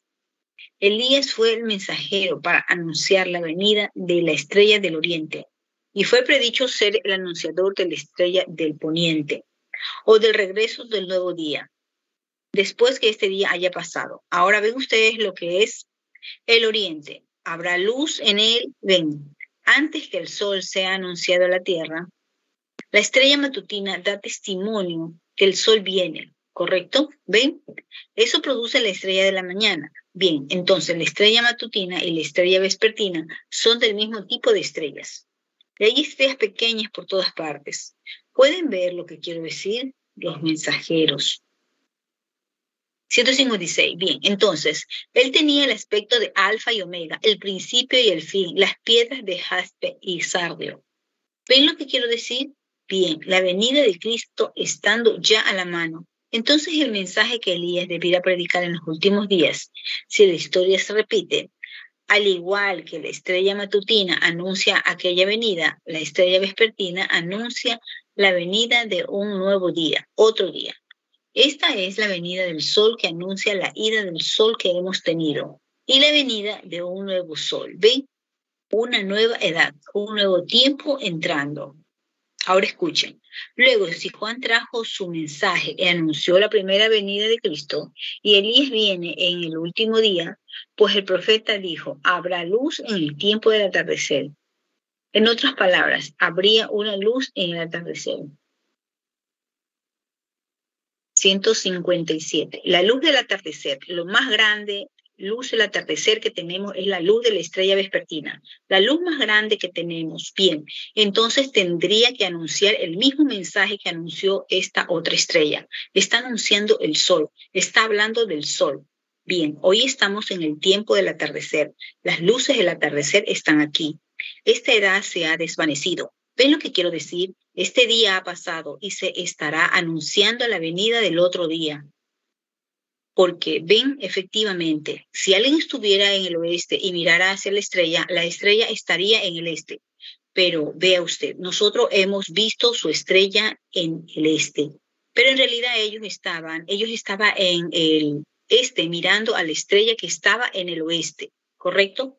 Los magos estaban en el oeste, estaban en el este mirando hacia la estrella que estaba en el oeste. ¿Ven lo que quiero decir? Pero era una estrella en el este para los que estaban en el oeste. 158. Vean, como decimos, yo siempre digo, abajo es arriba. ¿Cómo sabemos que no es correcto? Nosotros estamos parados en la eternidad.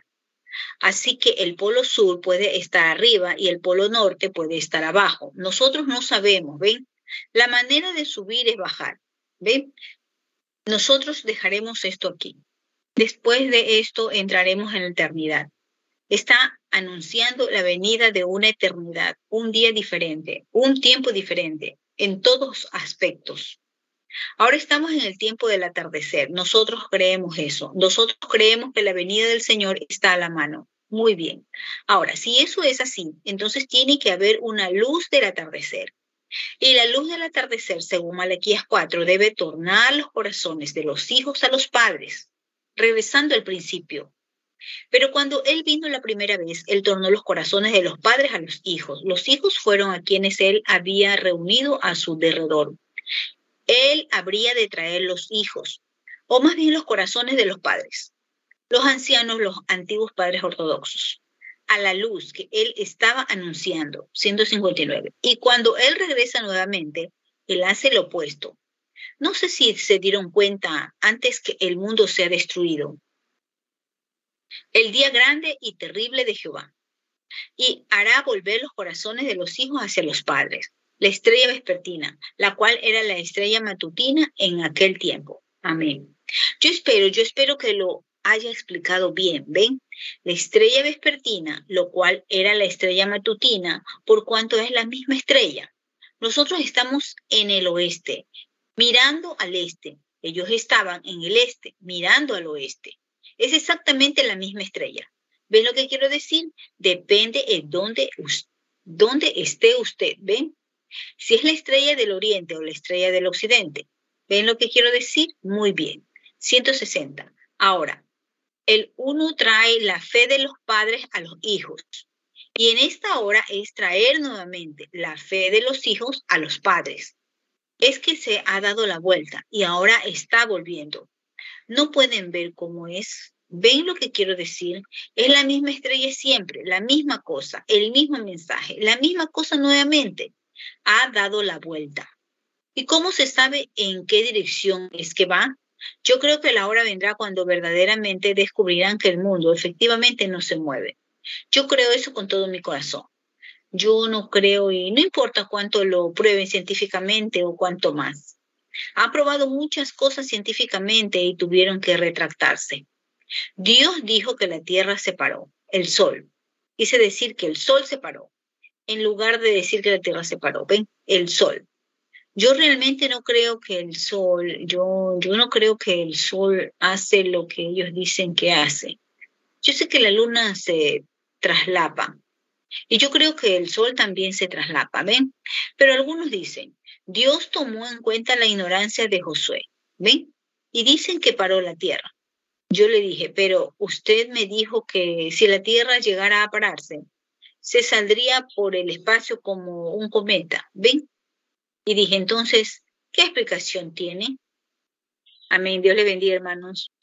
Amén, hermana Di. Dios le bendiga la lectura. Continuamos con este glorioso mensaje de servicio de preguntas y respuestas realizado el día 12 de enero del año 1961. Hermana Erika, Dios le bendiga en los párrafos 161 al 170. Dios le bendiga, hermanos y hermanas.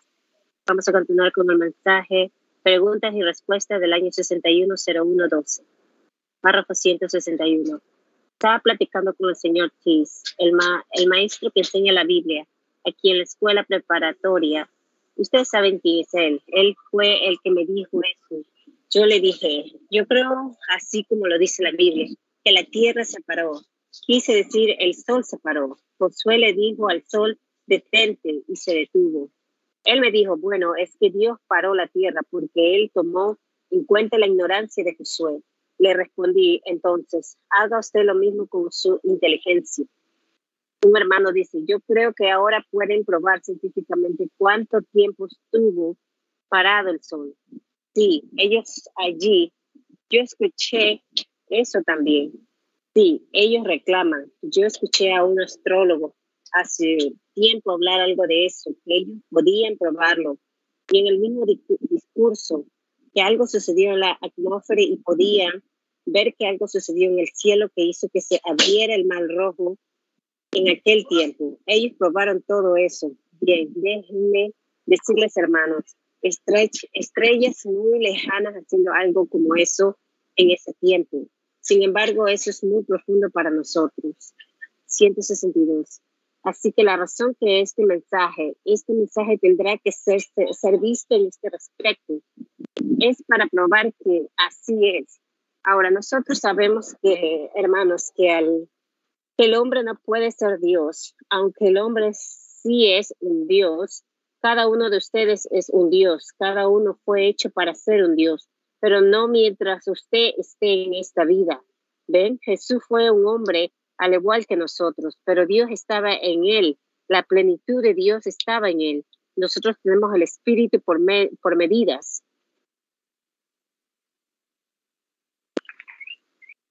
Pero siendo que esta luz ha venido y si es la verdadera luz que va a anunciar el mensaje que Juan el Bautista anunció, así como él dijo que había hecho allá en el río, vean, ¿cómo podría ser, cómo podría ser alguna otra cosa? Fíjese en mí, ¿ven? No tengo ni siquiera una educación de primaria. Cuando él me dijo las cosas que sucederían, y ninguna de ellas ha fallado, nunca ha fallado ninguna de ellas. Miren lo que él ha hecho, miren, él aún, yo les dije a los hermanos, hace muchos años, yo no sé quién sería el más anciano entre nosotros, pero yo les dije a ellos allá acerca de estas cosas de cuando vi esta luz y de su color y todo. Hoy la fotografía muestra que es la verdad. Y todas estas cosas distintas prueban que es la verdad. Correcto, bien. Entonces, si eso es la verdad y esta es la luz. 163. Bien, comencemos en el cuarto. Está allí el verso tercero, el quinto. Quiero decir, el, empecemos con el verso 14, hermano. ¿Quién ya la tiene? Muy bien, empiece como el verso 14 del capítulo tercero de San Lucas. Un hermano lee Lucas 3, 14 hasta el 16. Y le preguntaron también los soldados diciendo, ¿y nosotros qué haremos? Y le dicen, no hagáis extorsión a nadie, ni calumnies, y contentaos con vuestras pagas.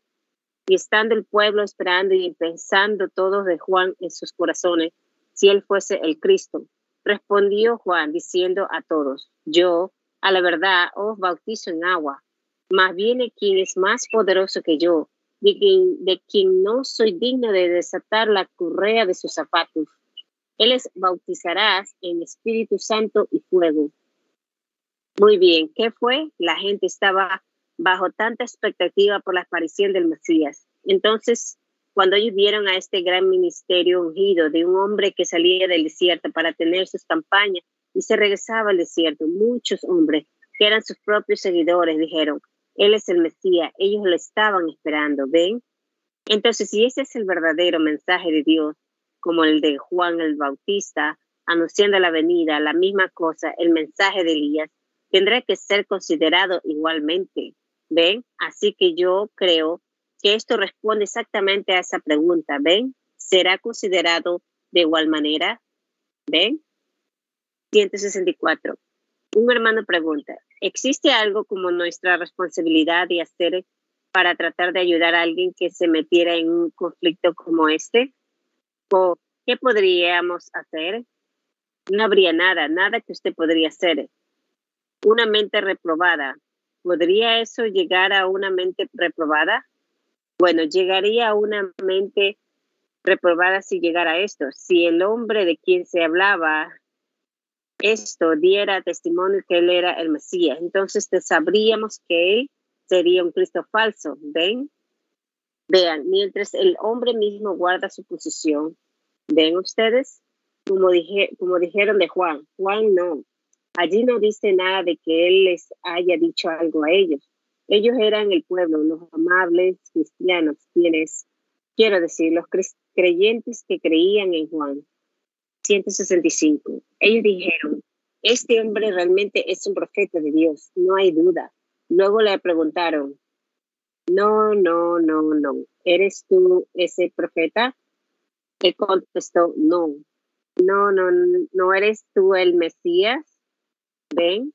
Ellos pensaron que realmente él era, ¿ven? Él contestó, no, ¿ven? No, no eres tú, pues ¿quién eres tú?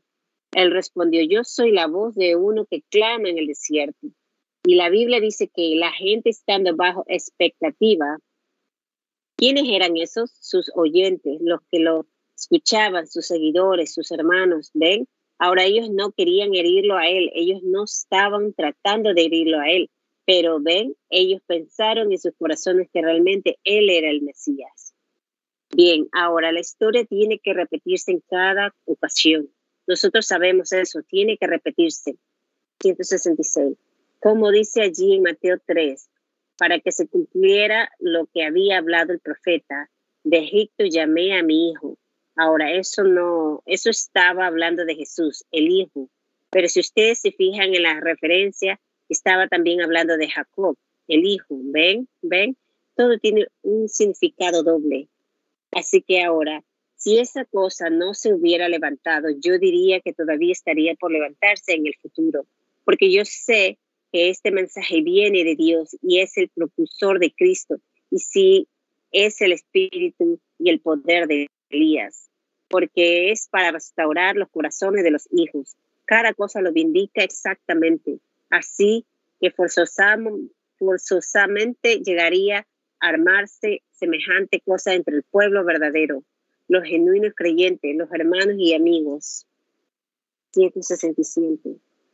Ahora, yo tengo un doctor aquí en la ciudad. Yo puedo decirles de un doctor. No les voy a decir quién es él. Es un amigo mío que me abrazó y me dijo, Billy, sería fácil para mí decirte, tú eres el Mesías de Dios del último día. ¿Ve? Le dije, médico, no digas eso. Él contestó, bien, pero yo no he visto a nadie en todo el mundo que haya tenido algo y haya dicho las cosas y haya hecho las cosas que tú haces, Billy. Esto le ha ayudado mucho a él. Ven, él me dijo, yo voy a las iglesias y veo a estos predicadores y estas cosas. Dijo, tú eres muy distinto a ellos. Yo sé que tú no tienes nada de educación. Ven, y yo sé que tú no eres un psicólogo porque la psicología no obra esas, de, esas cosas, ¿ven? Le respondí, eso es verdad, médico. Es por demás hablar en él porque no entiende. Uno no puede llegar ni a primera base con él, ¿ven? Porque él no sabe qué hacer, pero así es, ¿ven ustedes? Y entonces, 168. Yo conozco a una mujer de la raza negra que vive en la misma calle donde yo vivo donde vivo yo, y ella trabajaba para un señor que yo conozco. Y la esposa de este hombre me llamó y me dijo, esa mujer absolutamente te adora como un Dios, porque ella se estaba muriendo de cáncer y tú pusiste tus manos sobre esa mujer. Y dijo, esa mujer para quien ella trabaja, su esposo y cierto doctor, no el doctor de quien yo estaba hablando, sino otro doctor, juegan al golf y hacen otras cosas juntos. Y él fue quien la desahució. Ella era la sirviente de su amigo y la había desahuciado y ella fue absolutamente sanada. Y el doctor no pudo hallar ni traza del cáncer. Y ven, ella decía 169. Ahora, ellos no lo dicen en el en que yo pienso que ellos lo dicen, porque quizás nosotros lo tomamos. ¿Ven? Ellos quieren decir que ellos quieren decir que ellos creen que Dios está con nosotros, en nosotros, obrando a través de nosotros, no que un individuo sea Dios. ¿Ven ustedes? Ahora, ellos sabían que Juan era un solo hombre y también Jesús era solo un hombre. Jesús solo era un hombre. Él nació de una mujer y tenía que morir. Correcto. Él era un hombre, tenía que comer y beber. Padeció hambre, lloró, tuvo sed y todo eso. Tan humano como es usted, tan humano como soy yo. Pero el Espíritu de Dios estaba en él, en su plenitud, sin medida. Él era omnipotente en poder. Mientras que Elías tenía solo una porción de ese espíritu, tal vez ungió un poco un poquito más que sus hermanos, pero él era solo una porción del Espíritu. Pero la gente estaba esperando el Mesías y ellos vieron esta porción que era mayor que la de sus hermanos y dijeron, oh Señor, este debe ser él. Pero cuando él empezó a resplandecer, la lucecita de Juan se apagó, ¿ven? Y estas lucecitas todas desaparecerán cuando él venga, este gran Cristo ungido del cielo, viniendo del este al oeste, ¿ven? 170 pero Él no estará en la tierra, el Mesías no estará en la tierra hasta que el milenio sea establecido. Ven, ven, porque nosotros, la iglesia, seremos arrebatados para encontrar al Señor en el aire. Él no viene a la tierra, Él arrebata a, a su novia. Él toma una escalera, ustedes saben, como aquel, ¿cómo se llama ese, esa obra, Leo? Cuando el hombre puso una escalera al balcón de la casa, Romeo y Julieta. Correcto, subió una escalera para robarse a su novia. Ahora él está descendiendo por la escalera de Jacob y dice, Amada, ven, ven, y subiremos para encontrarlo a él. Dios le bendiga, hermanos. Amén, hermana Erika. Dios le bendiga la lectura. Continuamos con este glorioso mensaje titulado Preguntas y Respuestas, servicio realizado en Jeffersonville, Indiana, Estados Unidos, día 12 de enero del año 1961. Voy a continuar en los párrafos 171 y dice, hermano Branham, ¿estaría esto a la par con aquello? Aquella gente se acercó a Juan el Bautista y querían llamarlo el Mesías. Y yo le escuché a usted una vez decir que el judío piensa que el Mesías es Dios. ¿Qué dice usted? Dije que estas personas se le acercaron a Juan el Bautista y pensaron que él era el Mesías, el Cristo, y yo le escuché a usted decir en cierta ocasión que el Mesías sería Dios para los judíos. Sí, Señor, eso es correcto, el rabí. El hermano dice, bueno, Juan los respondió diciendo que él no era y que Cristo venía. Correcto. Pero no es verdad que los discípulos llamaron a, Señor a Jesús y Jesús permitió eso, diciendo, ustedes me llaman Señor, y lo soy. Sí, en San Juan 13, eh, con el que les lavó los pies. Sí, Él lo admitió. ¿Cómo siendo Señor si Él lo admitió? Él lo admitió. Él lo aceptó. Pero ven, Jesús siendo Señor, cuando se le preguntó si Él era, Él contestó, sí, yo soy vuestro Señor y Maestro. Vosotros me llaméis así y decís bien porque lo soy, pero, pero nunca ha, habido ningún otro ser humano que pueda, que pueda decir eso. Es como si alguien dijese que yo fuera un Dios. Bueno, permítanme decirles a ustedes en el nombre del Señor Jesucristo que eso es un error. Ven, yo soy un pecador, salvo por gracia, con un mensaje de parte de Dios. Ven, ven, Párrafo 172. ¿Debería o no, debería una iglesia local atender a sus propias responsabilidades locales antes de atender a las necesidades en el exterior en otros países?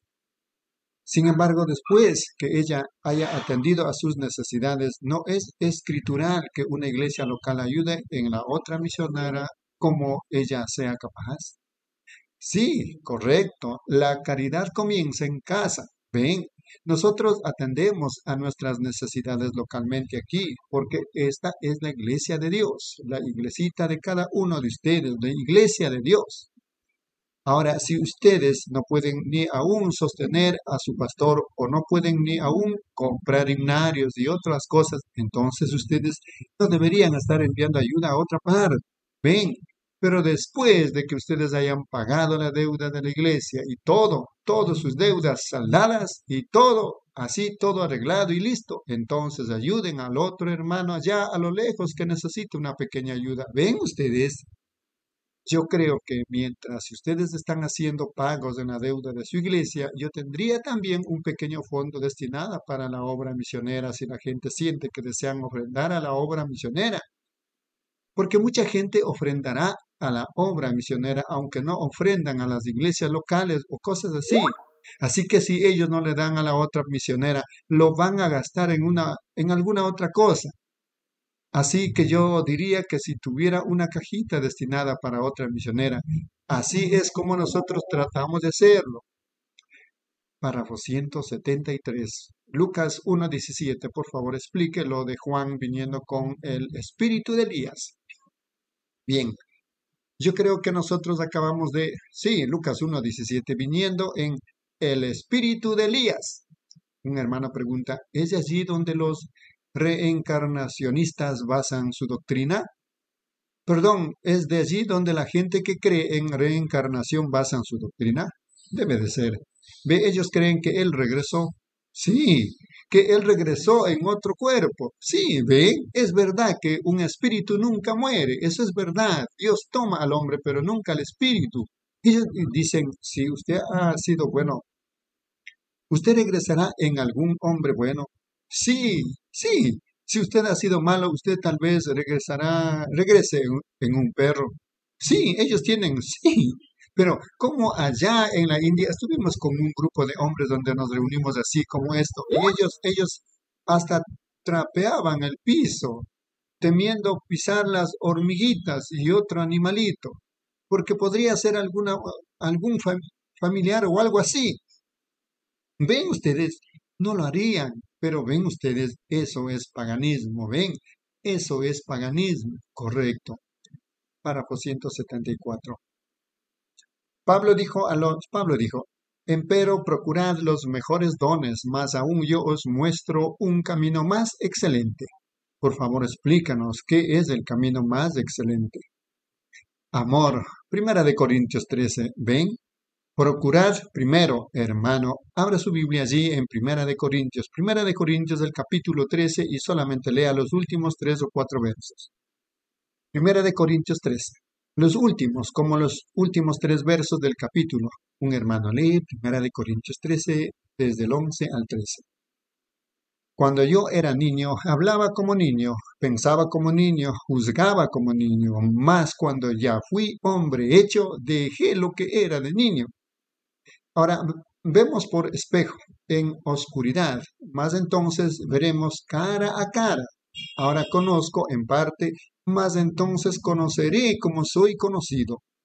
Y ahora permanezcan la fe, la esperanza y la caridad, estas tres, pero la mayor de ellas es la caridad. El hermano Branham dice, ajá, caridad. Párrafo 175. ¿Cómo se podrá condenar a un hermano cuya debilidad es ocupar una posición en la iglesia sin que se le pida que lo, la ocupe? Oh, hermano, bien, me supongo que soportándolo, ¿ven? ¿Cómo se podrá condenar a un hermano? No deberá ser condenado, cuya debilidad es ocupar una posición en la iglesia sin que se le pida que la ocupe. Por ejemplo, si él quisiera ser un diácono, Ven, y no se le ha pedido que lo haga, pero él de todas maneras quiere ser un diácono. Ven, bien, si una persona es así, usted ya sabe que hay algo un poco débil en alguna parte y yo lidiaría con él en amor. Y, por supuesto, usted nunca quiere hacer una cosa así a menos que realmente conozca. Ponga usted a los mejores hombres que pueda poner en su mesa de directiva. Ven ustedes, Hermano, nunca ponga a alguien allí que pruebe a ese hermano primero. Un diácono tiene mayor responsabilidad que el pastor. Él debe ser sin mancha. Un diácono, ven. Párrafo 176. En un servicio de comunión, un hombre pasó al altar para orar. El hermano Branham estaba parado detrás de los elementos de la comunión mientras fueron administrados. Y él dijo que no podía apartarse de ese lugar para bajar a orar por el hombre que estaba en el altar. Por favor, explique esto. yo envié a mi asociado. Ven ustedes al hermano Neville. Yo recuerdo la noche cuando eso sucedió. Mi deber es quedarme con esa mesa de comunión. Ven, aun cuando, miren esto, yo no tengo tiempo de entrar en todo este asunto. Por supuesto, la persona que hizo la pregunta está sentada aquí. Este es el asunto, mi hermano. Cuando usted tiene allí la comunión, aquello es una representación del cuerpo de Jesucristo. Debe de estar bien vigilado todo el tiempo. Párrafo 177 por último. Miren, cuando Eliseo le dijo a Jesse, toma mi bordón, él ya había bendecido ese bordón. Dijo él, emprende tu camino y sigue, y si alguien te habla, no lo respondas. Si alguien te saluda, no lo saludes. Sigue adelante y pon ese bordón sobre el niño. Correcto. No te separes de ese bordón. Ven. Y eso fue lo que ya yo estaba haciendo. Ahora, si no hubiera estado parado allí un pastor asociado, yo ya había terminado de predicar. Y yo bien recuerdo cuando eso sucedió. Y si el hermano Neville no hubiera estado aquí parado o alguien más para ayudar a ese hombre en el altar, yo acababa de terminar de predicar y estaba parado detrás de la mesa donde estaban los elementos de la comunión. Y mientras se listaban para tomar la comunión, y yo ya estaba dando los elementos de la comunión, el hermano Neville solo estaba a mi lado, pero yo estaba ministrando la comunión. Ahora, el hermano Neville está allí parado. Amén. Continuamos con la lectura de este mensaje. Preguntas y respuestas, servicio realizado en Jeffersonville, Indiana, Estados Unidos, día 12 de enero del año 1961. A continuación, hermana Reina, por favor, en los párrafos 178 al 184. Amén. Dios le bendiga, hermanos y hermanas. Continuando con la lectura del mensaje, Preguntas y respuestas. Párrafo 178. ¿Qué si hubiera venido al altar y el hermano Neville todavía estuviera predicando su sermón? Yo hubiera ido al altar con el hombre. Si él se hubiera levantado en la reunión mientras el hermano estuviera predicando, yo hubiera llegado al altar. Yo hubiera visto que mi hermano estaba, que él estaba bajo la unción del Espíritu. Él estaría ministrando un ministro en la línea del deber, un ministro en la línea del deber, y ustedes nunca deben permitirles que hablen en lenguas o que interrumpan de ninguna forma a un ministro en la línea del deber. Sí, si el Espíritu Santo le está hablando a alguien y ellos corren al altar para ser salvos, dejen pues que el ministro continúe en su línea de deber, pero dejen que un pastor un diácono, un asociado, si es un asociado o algún otro ministro, dejen que él vaya a esa persona rápidamente y no perturben al ministro en la línea del deber. ¿Ven? 179. Yo estaba parado detrás de la mesa en la línea del deber, ministrando la comunión, y mi asociado, el hermano Neville, estaba parado a mi lado. Y un hombre fue al altar y le dije, hermano Neville, consulte con él y el hermano Neville fue. Esa fue la razón por la cual yo no fui. Ahora, si no hubiera habido un pastor asociado aquí, ni nadie más para tratar con el hombre, me hubiera apartado y hubiera detenido la comunión y hubiera bajado para ver que esa alma fuera salva. ¿Ven? Pero siendo que sí había alguien a quien enviar, pues de otra forma eso me hubiera sacado de la línea del deber. ¿Ven ustedes? Donde yo estaba sirviendo la comunión. 180. ¿Qué tanto puede hacer una persona? ¿Qué tanto puede hacer una persona como obrero personal cuando le está ayudando a otra persona quien está buscando el Espíritu Santo y a la vez mantenerse escritural? Muy bien, manténgase citándole la palabra a esa persona. Esa es la mejor cosa que se puede hacer. La palabra tiene la luz. Solo diga, hermano, Jesús lo prometió. Recuerde, es su promesa. No lo esté sacudiendo, ni empujando, ni moviéndolo o algo así. No trate de, no trate usted de dárselo, porque usted no puede hacer eso. ¿Ven? ¿Ven? Dios se lo dará a él. usted solo siga citándole una y otra vez las promesas. ¿Ven? Siga allí firme, citando la promesa. Dios de los cielos, yo oro por mi hermano. Tu promesa es que tú le darás a él el Espíritu Santo. Y si usted está tratando de animarlo a él, porque él está diciendo, oh hermano pastor, hermano, quien sea el que esté cerca de él, yo quiero el Espíritu Santo. Usted dígale, hermano, es una promesa. Dios hizo la promesa. ¿Cree usted que Él lo ha prometido? No lo dude. Si usted cree la promesa, el Espíritu Santo vendrá a usted en cualquier momento. Esté esperándolo. Rinda a Él todo lo que usted tiene y diga, Señor, yo estoy parado en tu promesa. Siga citando. Haga que la persona siga citando. Dígale, usted dígale a Dios, pero ¿se ha arrepentido usted? Sí. Ahora diga, Señor, tú dijiste que si yo me arrepiento, tú eres justo para perdonarme. Tú dijiste que si yo me arrepiento y me bautizo en el nombre de Jesucristo para el perdón de mis pecados, que yo recibiría el Espíritu Santo. Ahora, Señor, yo ya he hecho eso. Yo lo he hecho, Señor. Yo lo he hecho. Estoy esperando, Señor. Tú lo prometiste. ¿Ve? Esa es la manera. Solamente continúe animándolo. Manténgalo en la palabra. Si le va a llegar, así llegará. 181. ¿Está correcto un predicador o cualquier cristiano que no cree en... No. ¿Está correcto un predicador o cualquier cristiano que no cree en la seguridad eterna? Bien, veamos. Yo me imagino, vea si usted lo lee igual que yo, léalo. Un hermano lee la pregunta. ¿Está correcto un predicador o cualquier cristiano que no cree en seguridad eterna? Pensé que lo había leído bien. Ahora, bien, yo. ¿Está bien un predicador que no cree en la seguridad eterna? yo habría de creer que el predicador está... Ahora, si él no conoce nada acerca de la seguridad eterna, pero si él sí conoce y sabe que es la verdad y luego no lo predica, él debiera tener vergüenza, ¿correcto?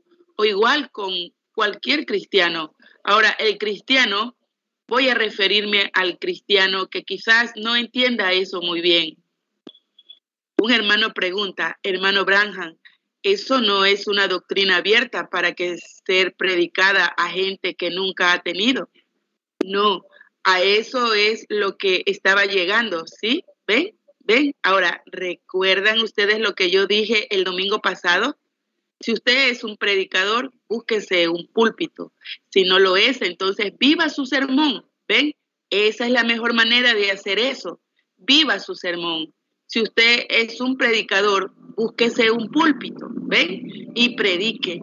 Si usted no lo es, entonces viva su sermón y permita que su vida sea su púlpito, ¿ven?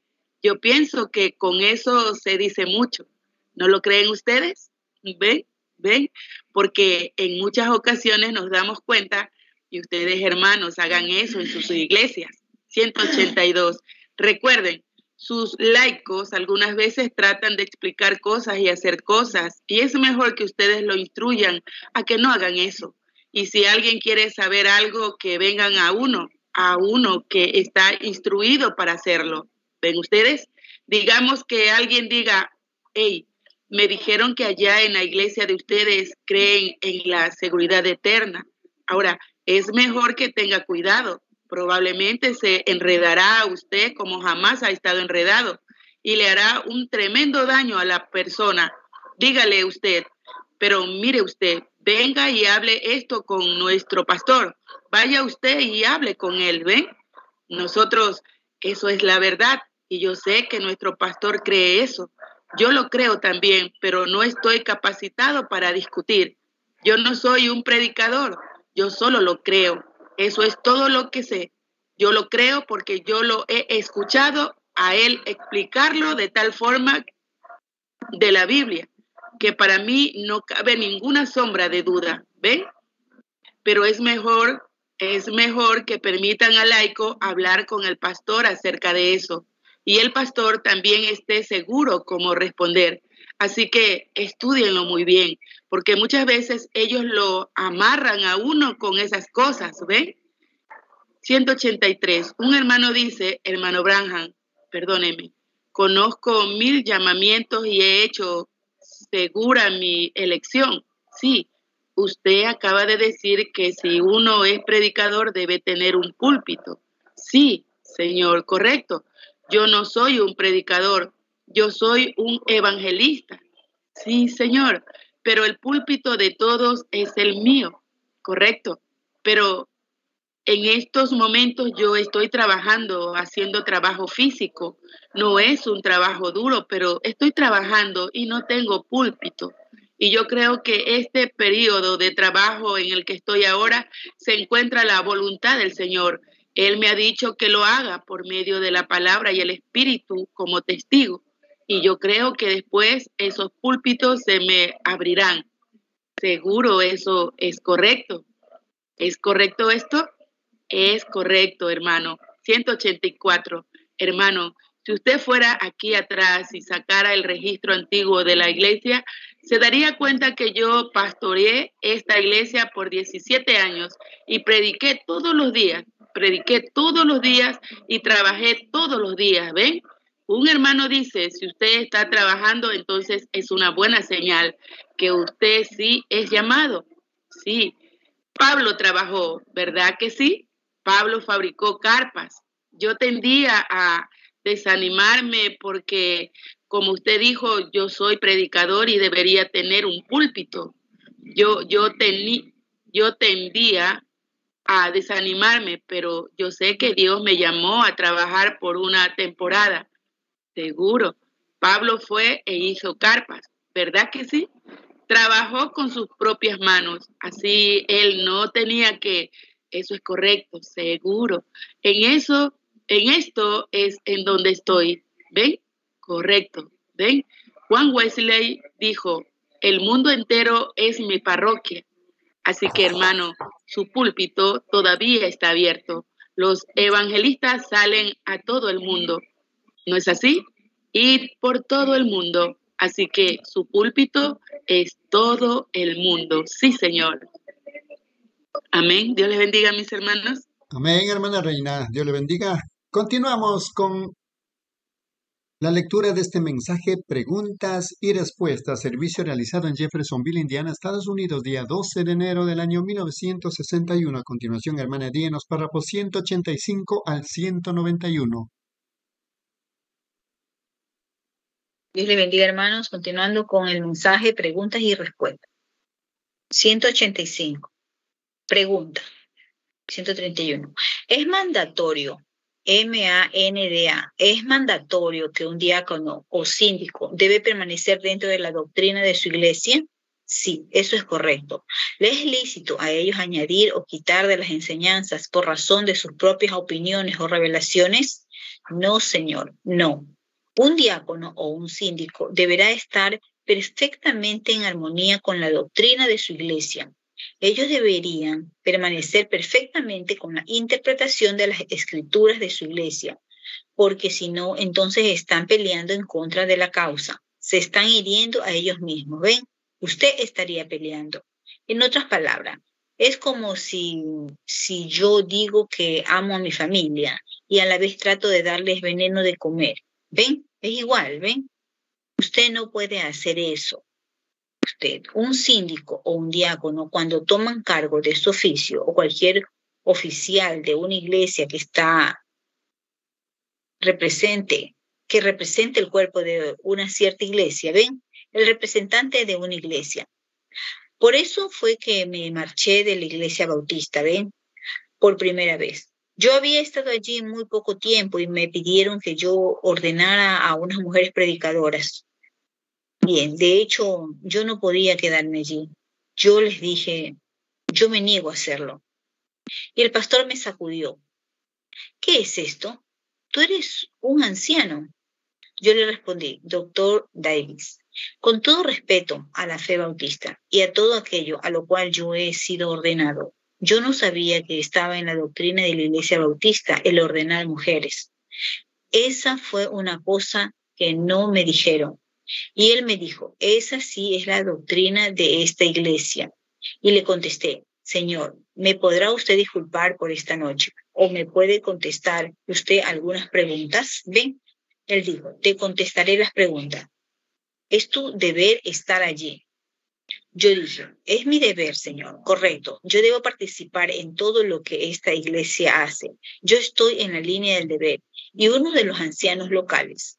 Y él dijo, yo dije, ¿me podrá usted explicar por qué en Primera de Corintios 14 o 15 por allí, donde Pablo dice, vuestras mujeres callen en las congregaciones, ¿por qué no le es permitido hablar? 186.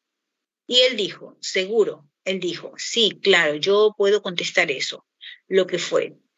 Dijo él, Pablo dijo, es que todas las mujeres estaban sentadas allá en los rincones, hablando cuando les daba la gana, como lo hacían en otras ocasiones. Y él les dijo, no permitan que ellas hagan eso, ¿ven? Y yo le dije, entonces, explíqueme primera de Timoteo, en donde Pablo también dijo, el mismo escriba, el mismo apóstol, allí dice, porque no permito a las mujeres enseñar ni tomar autoridad, ¿ve? Sino estar en obediencia, silencio, porque Adán fue formado primero y después Eva. Y Adán no fue engañado, sino que la mujer, siendo seducida, ella es engañada. Ahora, yo no digo que ella, que ella desea hacer algo mal, pero de hecho ella está engañada en el asunto. Ella no debe de ser maestra. Entonces él me dijo, ¿es esa tu opinión personal? Yo le dije, a mi manera de verlo, esa es la opinión de la escritura. Eso es lo que la Biblia dice. Y me dijo, joven, se te podría quitar tu licencia solo por eso. Y le contesté, les voy a evitar el problema, doctor Davis. La voy a entregar.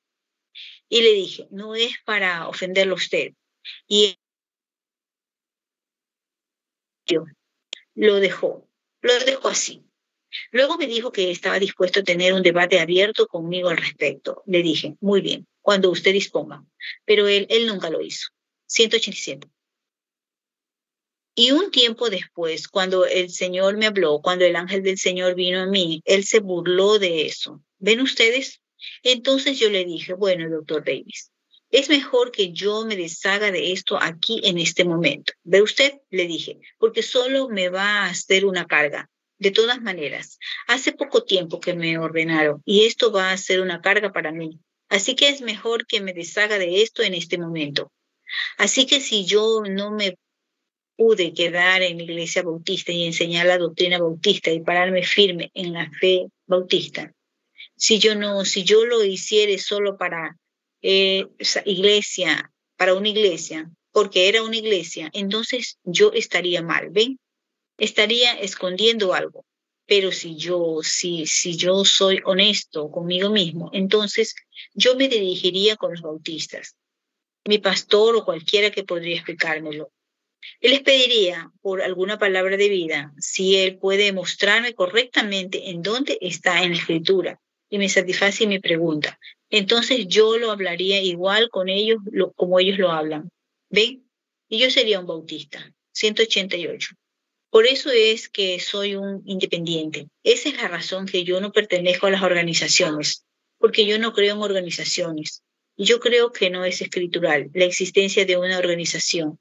Por lo tanto, yo no puedo pertenecer a ninguna organización y sentirme justificado haciéndolo. ¿Ven? Por lo tanto, yo no recibo a la gente como miembros y cosas así, porque yo creo que hemos nacido para ser miembros, hemos nacido en iglesia del Dios viviente, ¿ven? Nosotros no borramos el nombre de nadie del libro, ni los excomulgamos y cosas así, porque yo no creo que eso sea parte de nuestros deberes hacerlo. Yo creo que es Dios quien excomulga. ¿Ven? Pero yo creo que la iglesia, si hubiera un hermano que estuviera haciendo algo mal, 189. Por ejemplo, si, si descubrieran al hermano Neville o al hermano Junior o al hermano, algún hermano de aquí, uno de los diáconos o de los síndicos o alguien más haciendo algo malo. Yo creo que la cosa que la iglesia debería de hacer es reunirse y orar por este hermano. Si él todavía no se compone, entonces que dos hermanos vayan a verlo, vayan con el hermano para reconciliarlo. Y si entonces él no la acepta, entonces que se anuncie delante de la iglesia. Y si aún no la reciben, entonces es tiempo para que toda la iglesia actúe, ¿ve? Como el pastor, los ancianos y todos los demás. Yo no creo que la directiva de diáconos tenga el derecho de echar a nadie fuera de la iglesia, ni la directiva de síndicos, ni ningún pastor tampoco tiene el derecho de hacerlo. Yo pienso que si alguien tuviera que ser sacado del compañerismo, sería por causa de vivir una vida inmoral o algo así. Que no fuera una persona calificada, como un hombre que se reuniera aquí como nosotros y que estuviera deshonrando a nuestras jovencitas o, insultando a nuestras mujeres y cosas así, y aún profesando ser uno de nosotros. ¿Ven? Ahora, si él viene de alguna otra parte, tenemos que hacer algo al respecto, pero cuando es un caso de una persona como esa, una persona inmoral tratando de enamorar a nuestras esposas o de insultar a nuestras hijas o usted sabe, algo como eso, o hacer algo inmoral delante de ellas, o llevándose a nuestros jovencitos y convirtiéndolos en pervertidos o algo así. Estas cosas deberían de atenderse y ese fulano debería de ser excomulgado del compañerismo y no permitirle participar de la comunión, porque nosotros no debemos hacer eso, no debemos. Si alguno come indignamente es culpable de la sangre y del cuerpo del Señor, así con esa persona. 190. Pero yo creo que si algún hermanito, digamos, bien, él, él es esto o lo otro, oremos por él. Nunca se me olvidará allá en Estocolmo, Suecia, el hermano Levi Petrus, un gran hombre de Dios. Estábamos sentados en una mesa unas horas antes de regresar a América. Habíamos tenido allí unas reuniones grandiosas y él dijo, Gordon Lindsay, le preguntó, ¿quién es el superintendente de este gran cuerpo? Y vieron ustedes cómo les han ganado a las asambleas de Dios por cientos de millas. ¿Ven ustedes? dijo, ¿quién es el superintendente? Y Levis Petrus, ¿quién es un caballero? Le contestó Jesús. Dijo, ¿y quiénes son los presbíteros? Él dijo, Jesús. Y él dijo, yo sé que eso es correcto. Dijo, nosotros creemos lo mismo acerca de nuestras asambleas de Dios. Dijo, eso es correcto pero dijo él, digamos, por ejemplo, que un hermano se sale fuera de la línea, ¿quién tiene la última palabra para echarlo fuera? Le respondió, nosotros no lo echamos fuera. Bueno, dijo él, pero ¿qué es lo que ustedes hacen? Dijo, oramos por él. Y yo pensé que eso fue tan dulce. Me sonó muy cristiano a mí. Nosotros oramos por él. Nadie lo echa fuera. Ellos oran por él. 191. Entonces dijo, bueno, ¿qué si algunos de los hermanos están de acuerdo y otros ya no quieren tener compañerismo con él? Digamos que fuera un pastor. ¿Ven ustedes? Uno que comienza a ser mujeriego entre, ustedes saben lo que quiero decir, y cosas como esas. Y algunos de los pastores no lo quieren en sus iglesias. ¿Qué es lo que ustedes hacen? ¿Lo echan fuera de su organización? No, dijo, nosotros lo dejamos quieto y oramos por él. Y dijo, hasta la fecha no hemos perdido uno. Siempre regresan de alguna manera. Él dijo, bueno, dijo él, ahora que sí, dijo, ¿qué si algunos de ellos dicen que lo quieren y otros no lo quieren? ¿Qué de eso? Dijo, bueno, los que lo quieren lo aceptan y los que no lo quieren no tienen que aceptarlo. Así que yo pienso que esa es una buena manera de tenerlo. ¿No lo creen así ustedes, hermanos? De esa manera, si somos hermanos. Dios le bendiga, hermanos. Amén, hermana Di. Dios le bendiga. Continuamos con la lectura, preguntas y respuestas, servicio realizado en Jeffersonville, Indiana, Estados Unidos, día 12 de enero del año 1961. Hermana Erika, por favor, en los párrafos 192 al 198. Dios le bendiga, hermanos. Vamos a continuar con el mensaje, preguntas y respuestas, párrafo 192. Bien, hermanos, espero que estas cosas les haya dado una pequeña luz respecto a alguna respuesta o algo que nuestra reunión aquí en esta noche nos, nos haya beneficiado en algo. Me estoy preparando para salir por un tiempo. Voy a unas reuniones allá en el oeste. Humildemente suplico sus oraciones. Muchas de mis respuestas dadas aquí, tal vez muchas de ellas, tal vez ninguna de ellas, fueron correctas. Yo no sé, pero fue lo mejor que yo pude acumular en mi propia manera de pensar. ¿Ven ustedes? Para tratar de explicarlas. Quizás estas últimas, en particular las que llegaron por último, no tuve tiempo de estudiarlas y simplemente no. Lo que quiero decir es que fueron escrituras que repasamos aquí siempre, día tras día, aquí en la iglesia. Yo pensé que tal vez serían muy dificultosas, que nos causarían tener que entrar en algo grande, pero solamente fueron más bien como preguntas de iglesias. 193. Estoy muy contento de verlos firmes así. No hay ningún desorden, ningún desagrado, ninguna confusión, ninguna pregunta debatida diciendo está mal, esto está errado, no lo creemos. Fueron solamente de hermanos que querían conocer algo para afirmarse mejor. Eso es todo.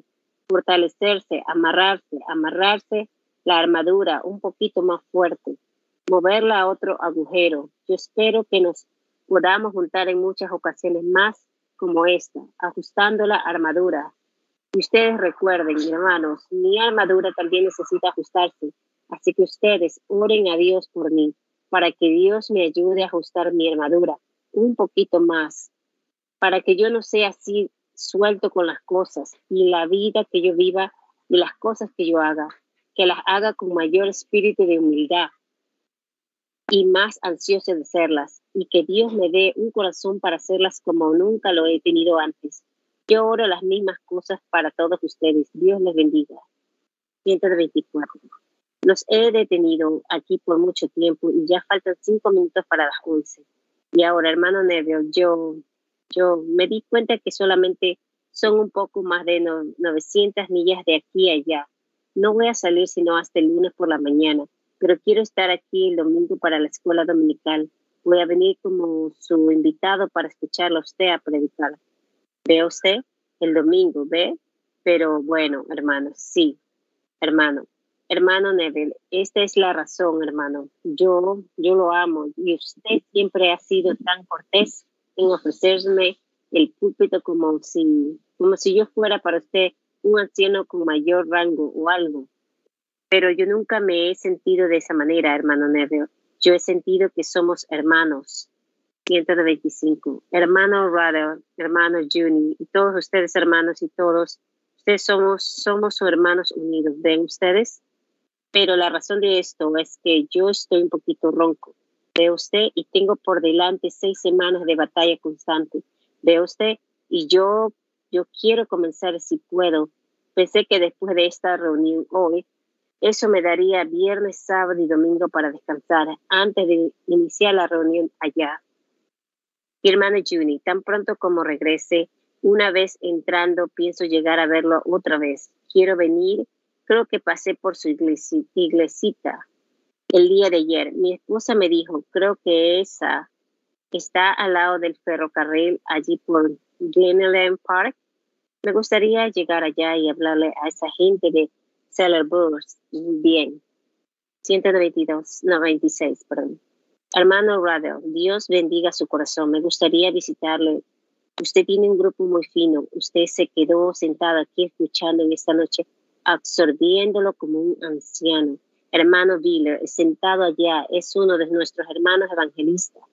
Espero que alguna vez en alguna parte pueda encontrarme en alguna de sus reuniones, hermano, y pueda servir de alguna influencia, tener algo que decir en alguna parte para ayudarlo a usted.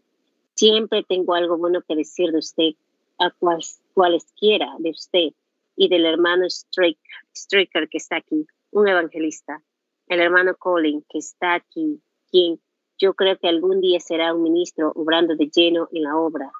Hombres que son hombres valientes, verdaderos hombres de la fe, Dios sea con todos ustedes. 197. Y con ustedes, diáconos, y con ustedes, síndicos, y con ustedes, hermanos, yo creo que ustedes son el hermano aquí, no puedo recordar su nombre, ustedes, alguien dice hermano Cadwell, Cadwell, usted es un, uno, usted es uno de los ancianos o algo, ¿no es así? O un ministro, ministro. Yo soy un ministro, pertenecía a las iglesias de Dios. No podía predicar el evangelio completo y permanecer con ellos. Yo no podía predicar el bautismo en el nombre del Señor Jesús y permanecer con ellos. Yo tenía la licencia ministerial más alta que ellos otorgan, pero la rechacé. Desde que la escuché predicar esos grandes mensajes, la rechacé y salí de la organización. Ahora yo quiero ser uno de ustedes. Gracias, hermano. Le damos la bienvenida a nuestro compañerismo. Nuestras credenciales son de arriba. Nuestras vidas componen nuestras credenciales. ¿Ve usted? Esas son nuestras credenciales. Si yo no hago las obras de mi Padre, entonces no me creáis. ¿Ven? Correcto. Esas son nuestras credenciales. Y como decía Howard Carley, no tenemos ley sino el amor, no tenemos libros sino la Biblia, y ningún credo sino Cristo. Correcto, ninguna ley sino el amor, ningún credo sino Cristo, ningún libro sino la Biblia. 198. Y hermano Catwell, estamos contentos de tenerlo. Usted salió de una gran organización, la Iglesia de Dios de Anderson, me supongo. El hermano Catwell dice, de, Cleveland, la iglesia de Cleveland, la iglesia de Dios Pentecostal, y yo pastoreaba aquí cerca. Oh, ¿sí? Oh, sí, yo he estado allí. Creo que estuve allí con el hermano Neville o con el hermano Wood en una ocasión. Nos regalaron un perro, un perro de alguien que asistía a su iglesia. Yo estaba parado en los escalones platicando. Y ellos estaban hablando de usted. Bien, yo estoy seguro. En mi iglesia, oh, Burn, Correcto, el hermano Burns, correcto. El hermano Catwell relata un incidente. Oh, sí, oh, Berta es, es verdad, oh, es maravilloso. Dios le bendiga, hermanos. Amén, hermana Erika. Dios le bendiga la lectura. Es realmente para nosotros un privilegio de tener este compañerismo. Vamos a finalizar este mensaje Preguntas y respuestas, servicio realizado en Jeffersonville, Indiana, Estados Unidos, día 12 de enero del año 1961.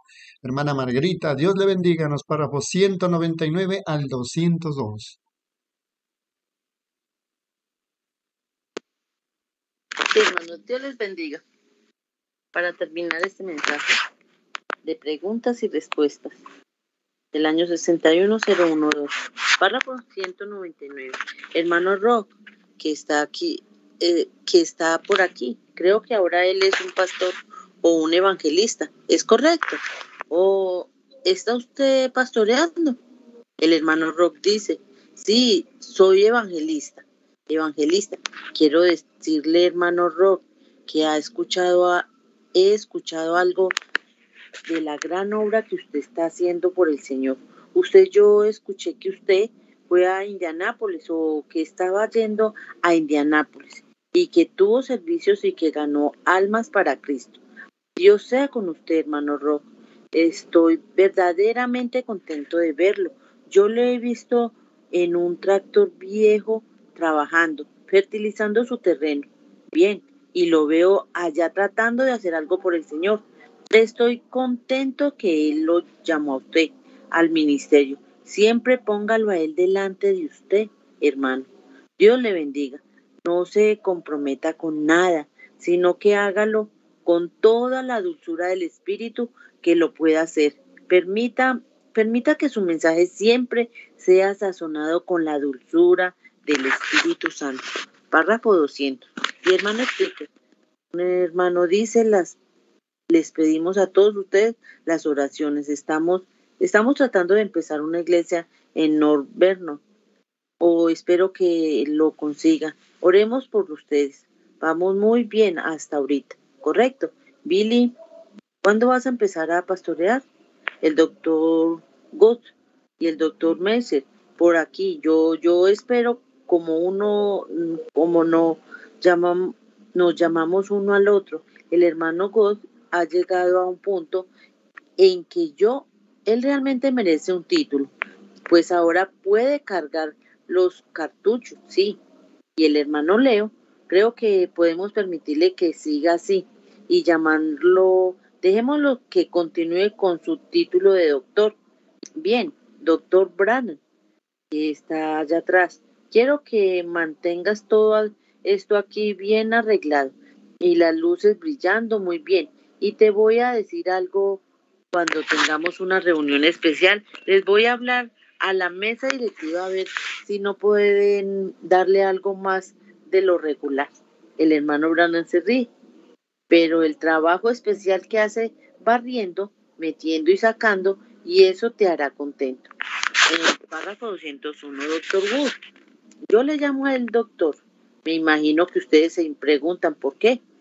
No lo, no lo nombré mal. Es que él corta madera en tantos pedazos. Usted sabe, el Señor hace crecer un árbol tan bonito. Y él lo corta y hace una casa del árbol. No he, no he visto tal cosa. Así que tengo que llamarlo doctor. Hermano Taylor, usted todavía sigue fiel en la puerta para darle asiento a la gente. Yo pienso que usted así, yo preferiría hacer un tapete en la casa del Señor que morar en las tiendas con el inicuo. Correcto, seguro, hermano Hickerson. Usted se acaba de comenzar en el camino y está caminando. Yo le deseo, yo, usted empezó en el camino y ha seguido. Yo ciertamente admiro su sinceridad y todo lo que usted está haciendo por el Señor. Jesús. Que Dios siempre lo bendiga y lo haga un diácono verdadero, hermano, lo cual yo creo que usted es, con su casa en su gestión y todas las cosas así como las tiene. Abajo 202 para terminar. Hermano Fred, usted no ha estado con nosotros mucho tiempo, viniendo desde, desde el Canadá. Nosotros ya no sentimos, ya no sentimos que usted sea canadiense, nosotros sentimos que usted es un peregrino y extranjero aquí con nosotros, como un, como un síndico, usted y el hermano Wood, y ustedes que desempeñan su oficio, su oficio bien junto con el hermano Robertson y los demás, el hermano Egan, y él no está aquí en esta noche, el hermano Robertson. Usted ha sido una verdadera ayuda para, para mí, hermano Robertson, junto, juntamente con otros en este caso de los impuestos, cuando fue investigado. Dios les bendiga, hermanos. Terminamos este mensaje. Amén, hermana Margarita. Dios le bendiga, amados hermanos y hermanas. Hemos concluido con este glorioso mensaje titulado Preguntas y Respuestas, predicado en Jeffersonville, Indiana, Estados Unidos, día 12 de enero del año 1961, que quede bien plasmado en cada uno de vuestros corazones. Y también vamos a concluir con el compañerismo tiempo. Más adelante tenemos un servicio y vamos a prepararnos. Sin antes también de anunciar, si Dios permite, el día de mañana continuaremos con este compañerismo, con la lectura del siguiente mensaje, el Mesías. Predicado en Shiverport, Luciana, Estados Unidos, día 17 de enero del año 1961 agradeciendo a Dios y a todos vosotros, vamos a despedirnos y más adelante tenemos el servicio. Gracias, Padre Celestial, por tu amor, por tu misericordia, por tu infinito amor, oh Padre, que tú nos has dado este alimento espiritual para vuestras almas. Alimento, Señor, para el águila de este último tiempo, Señor, siendo Juan el tipo de, de águila, Señor. Nosotros hemos entrado, Señor, en la escena de tu palabra para servirnos de esta deliciosa comida, oh Padre comida especial que tú nos entregaste en este último tiempo, Señor, y en esta noche hemos aprendido cómo portarnos en una iglesia, Señor. Más aún de esta iglesia del mensaje, Señor. Aún cuando las iglesias de este mensaje están leyendo estos gloriosos mensajes de nuestro profeta, pero no lo han cumplido, Padre. Señor, tenga misericordia, Señor. Queremos andar en la luz como dice Juan 14, 19 todavía, oh Padre amado, que tú eres la luz día y noche, Señor. Tú, tú eres, oh Padre amado, ese germen que tú nos diste a cada uno para nuestras almas, Señor. Oh Padre amado, todavía un poco y el mundo no me verá más, pero vosotros me veréis, porque yo vivo, vosotros también viviréis, y eso es por tu palabra, por la comida especial, Señor. Muchas gracias por este privilegio. Conjuntamente los hermanos y hermanas mí que han estado en la cena, Señor, te decimos muchas gracias. Y hay un día más regresaremos con mucho ánimo, con mucha alegría, con mucho gozo y paz, porque tu palabra nos da vida eterna, Señor. Muchas gracias en el nombre del Señor Jesucristo. Amén, mis amados hermanas y hermanos, que el Señor Jesucristo los bendiga. Amén, hermano. Dios le bendiga. Shalom. Dios le bendiga, Dios le bendiga, hermanos y hermanas. Dios les bendiga. Shalom.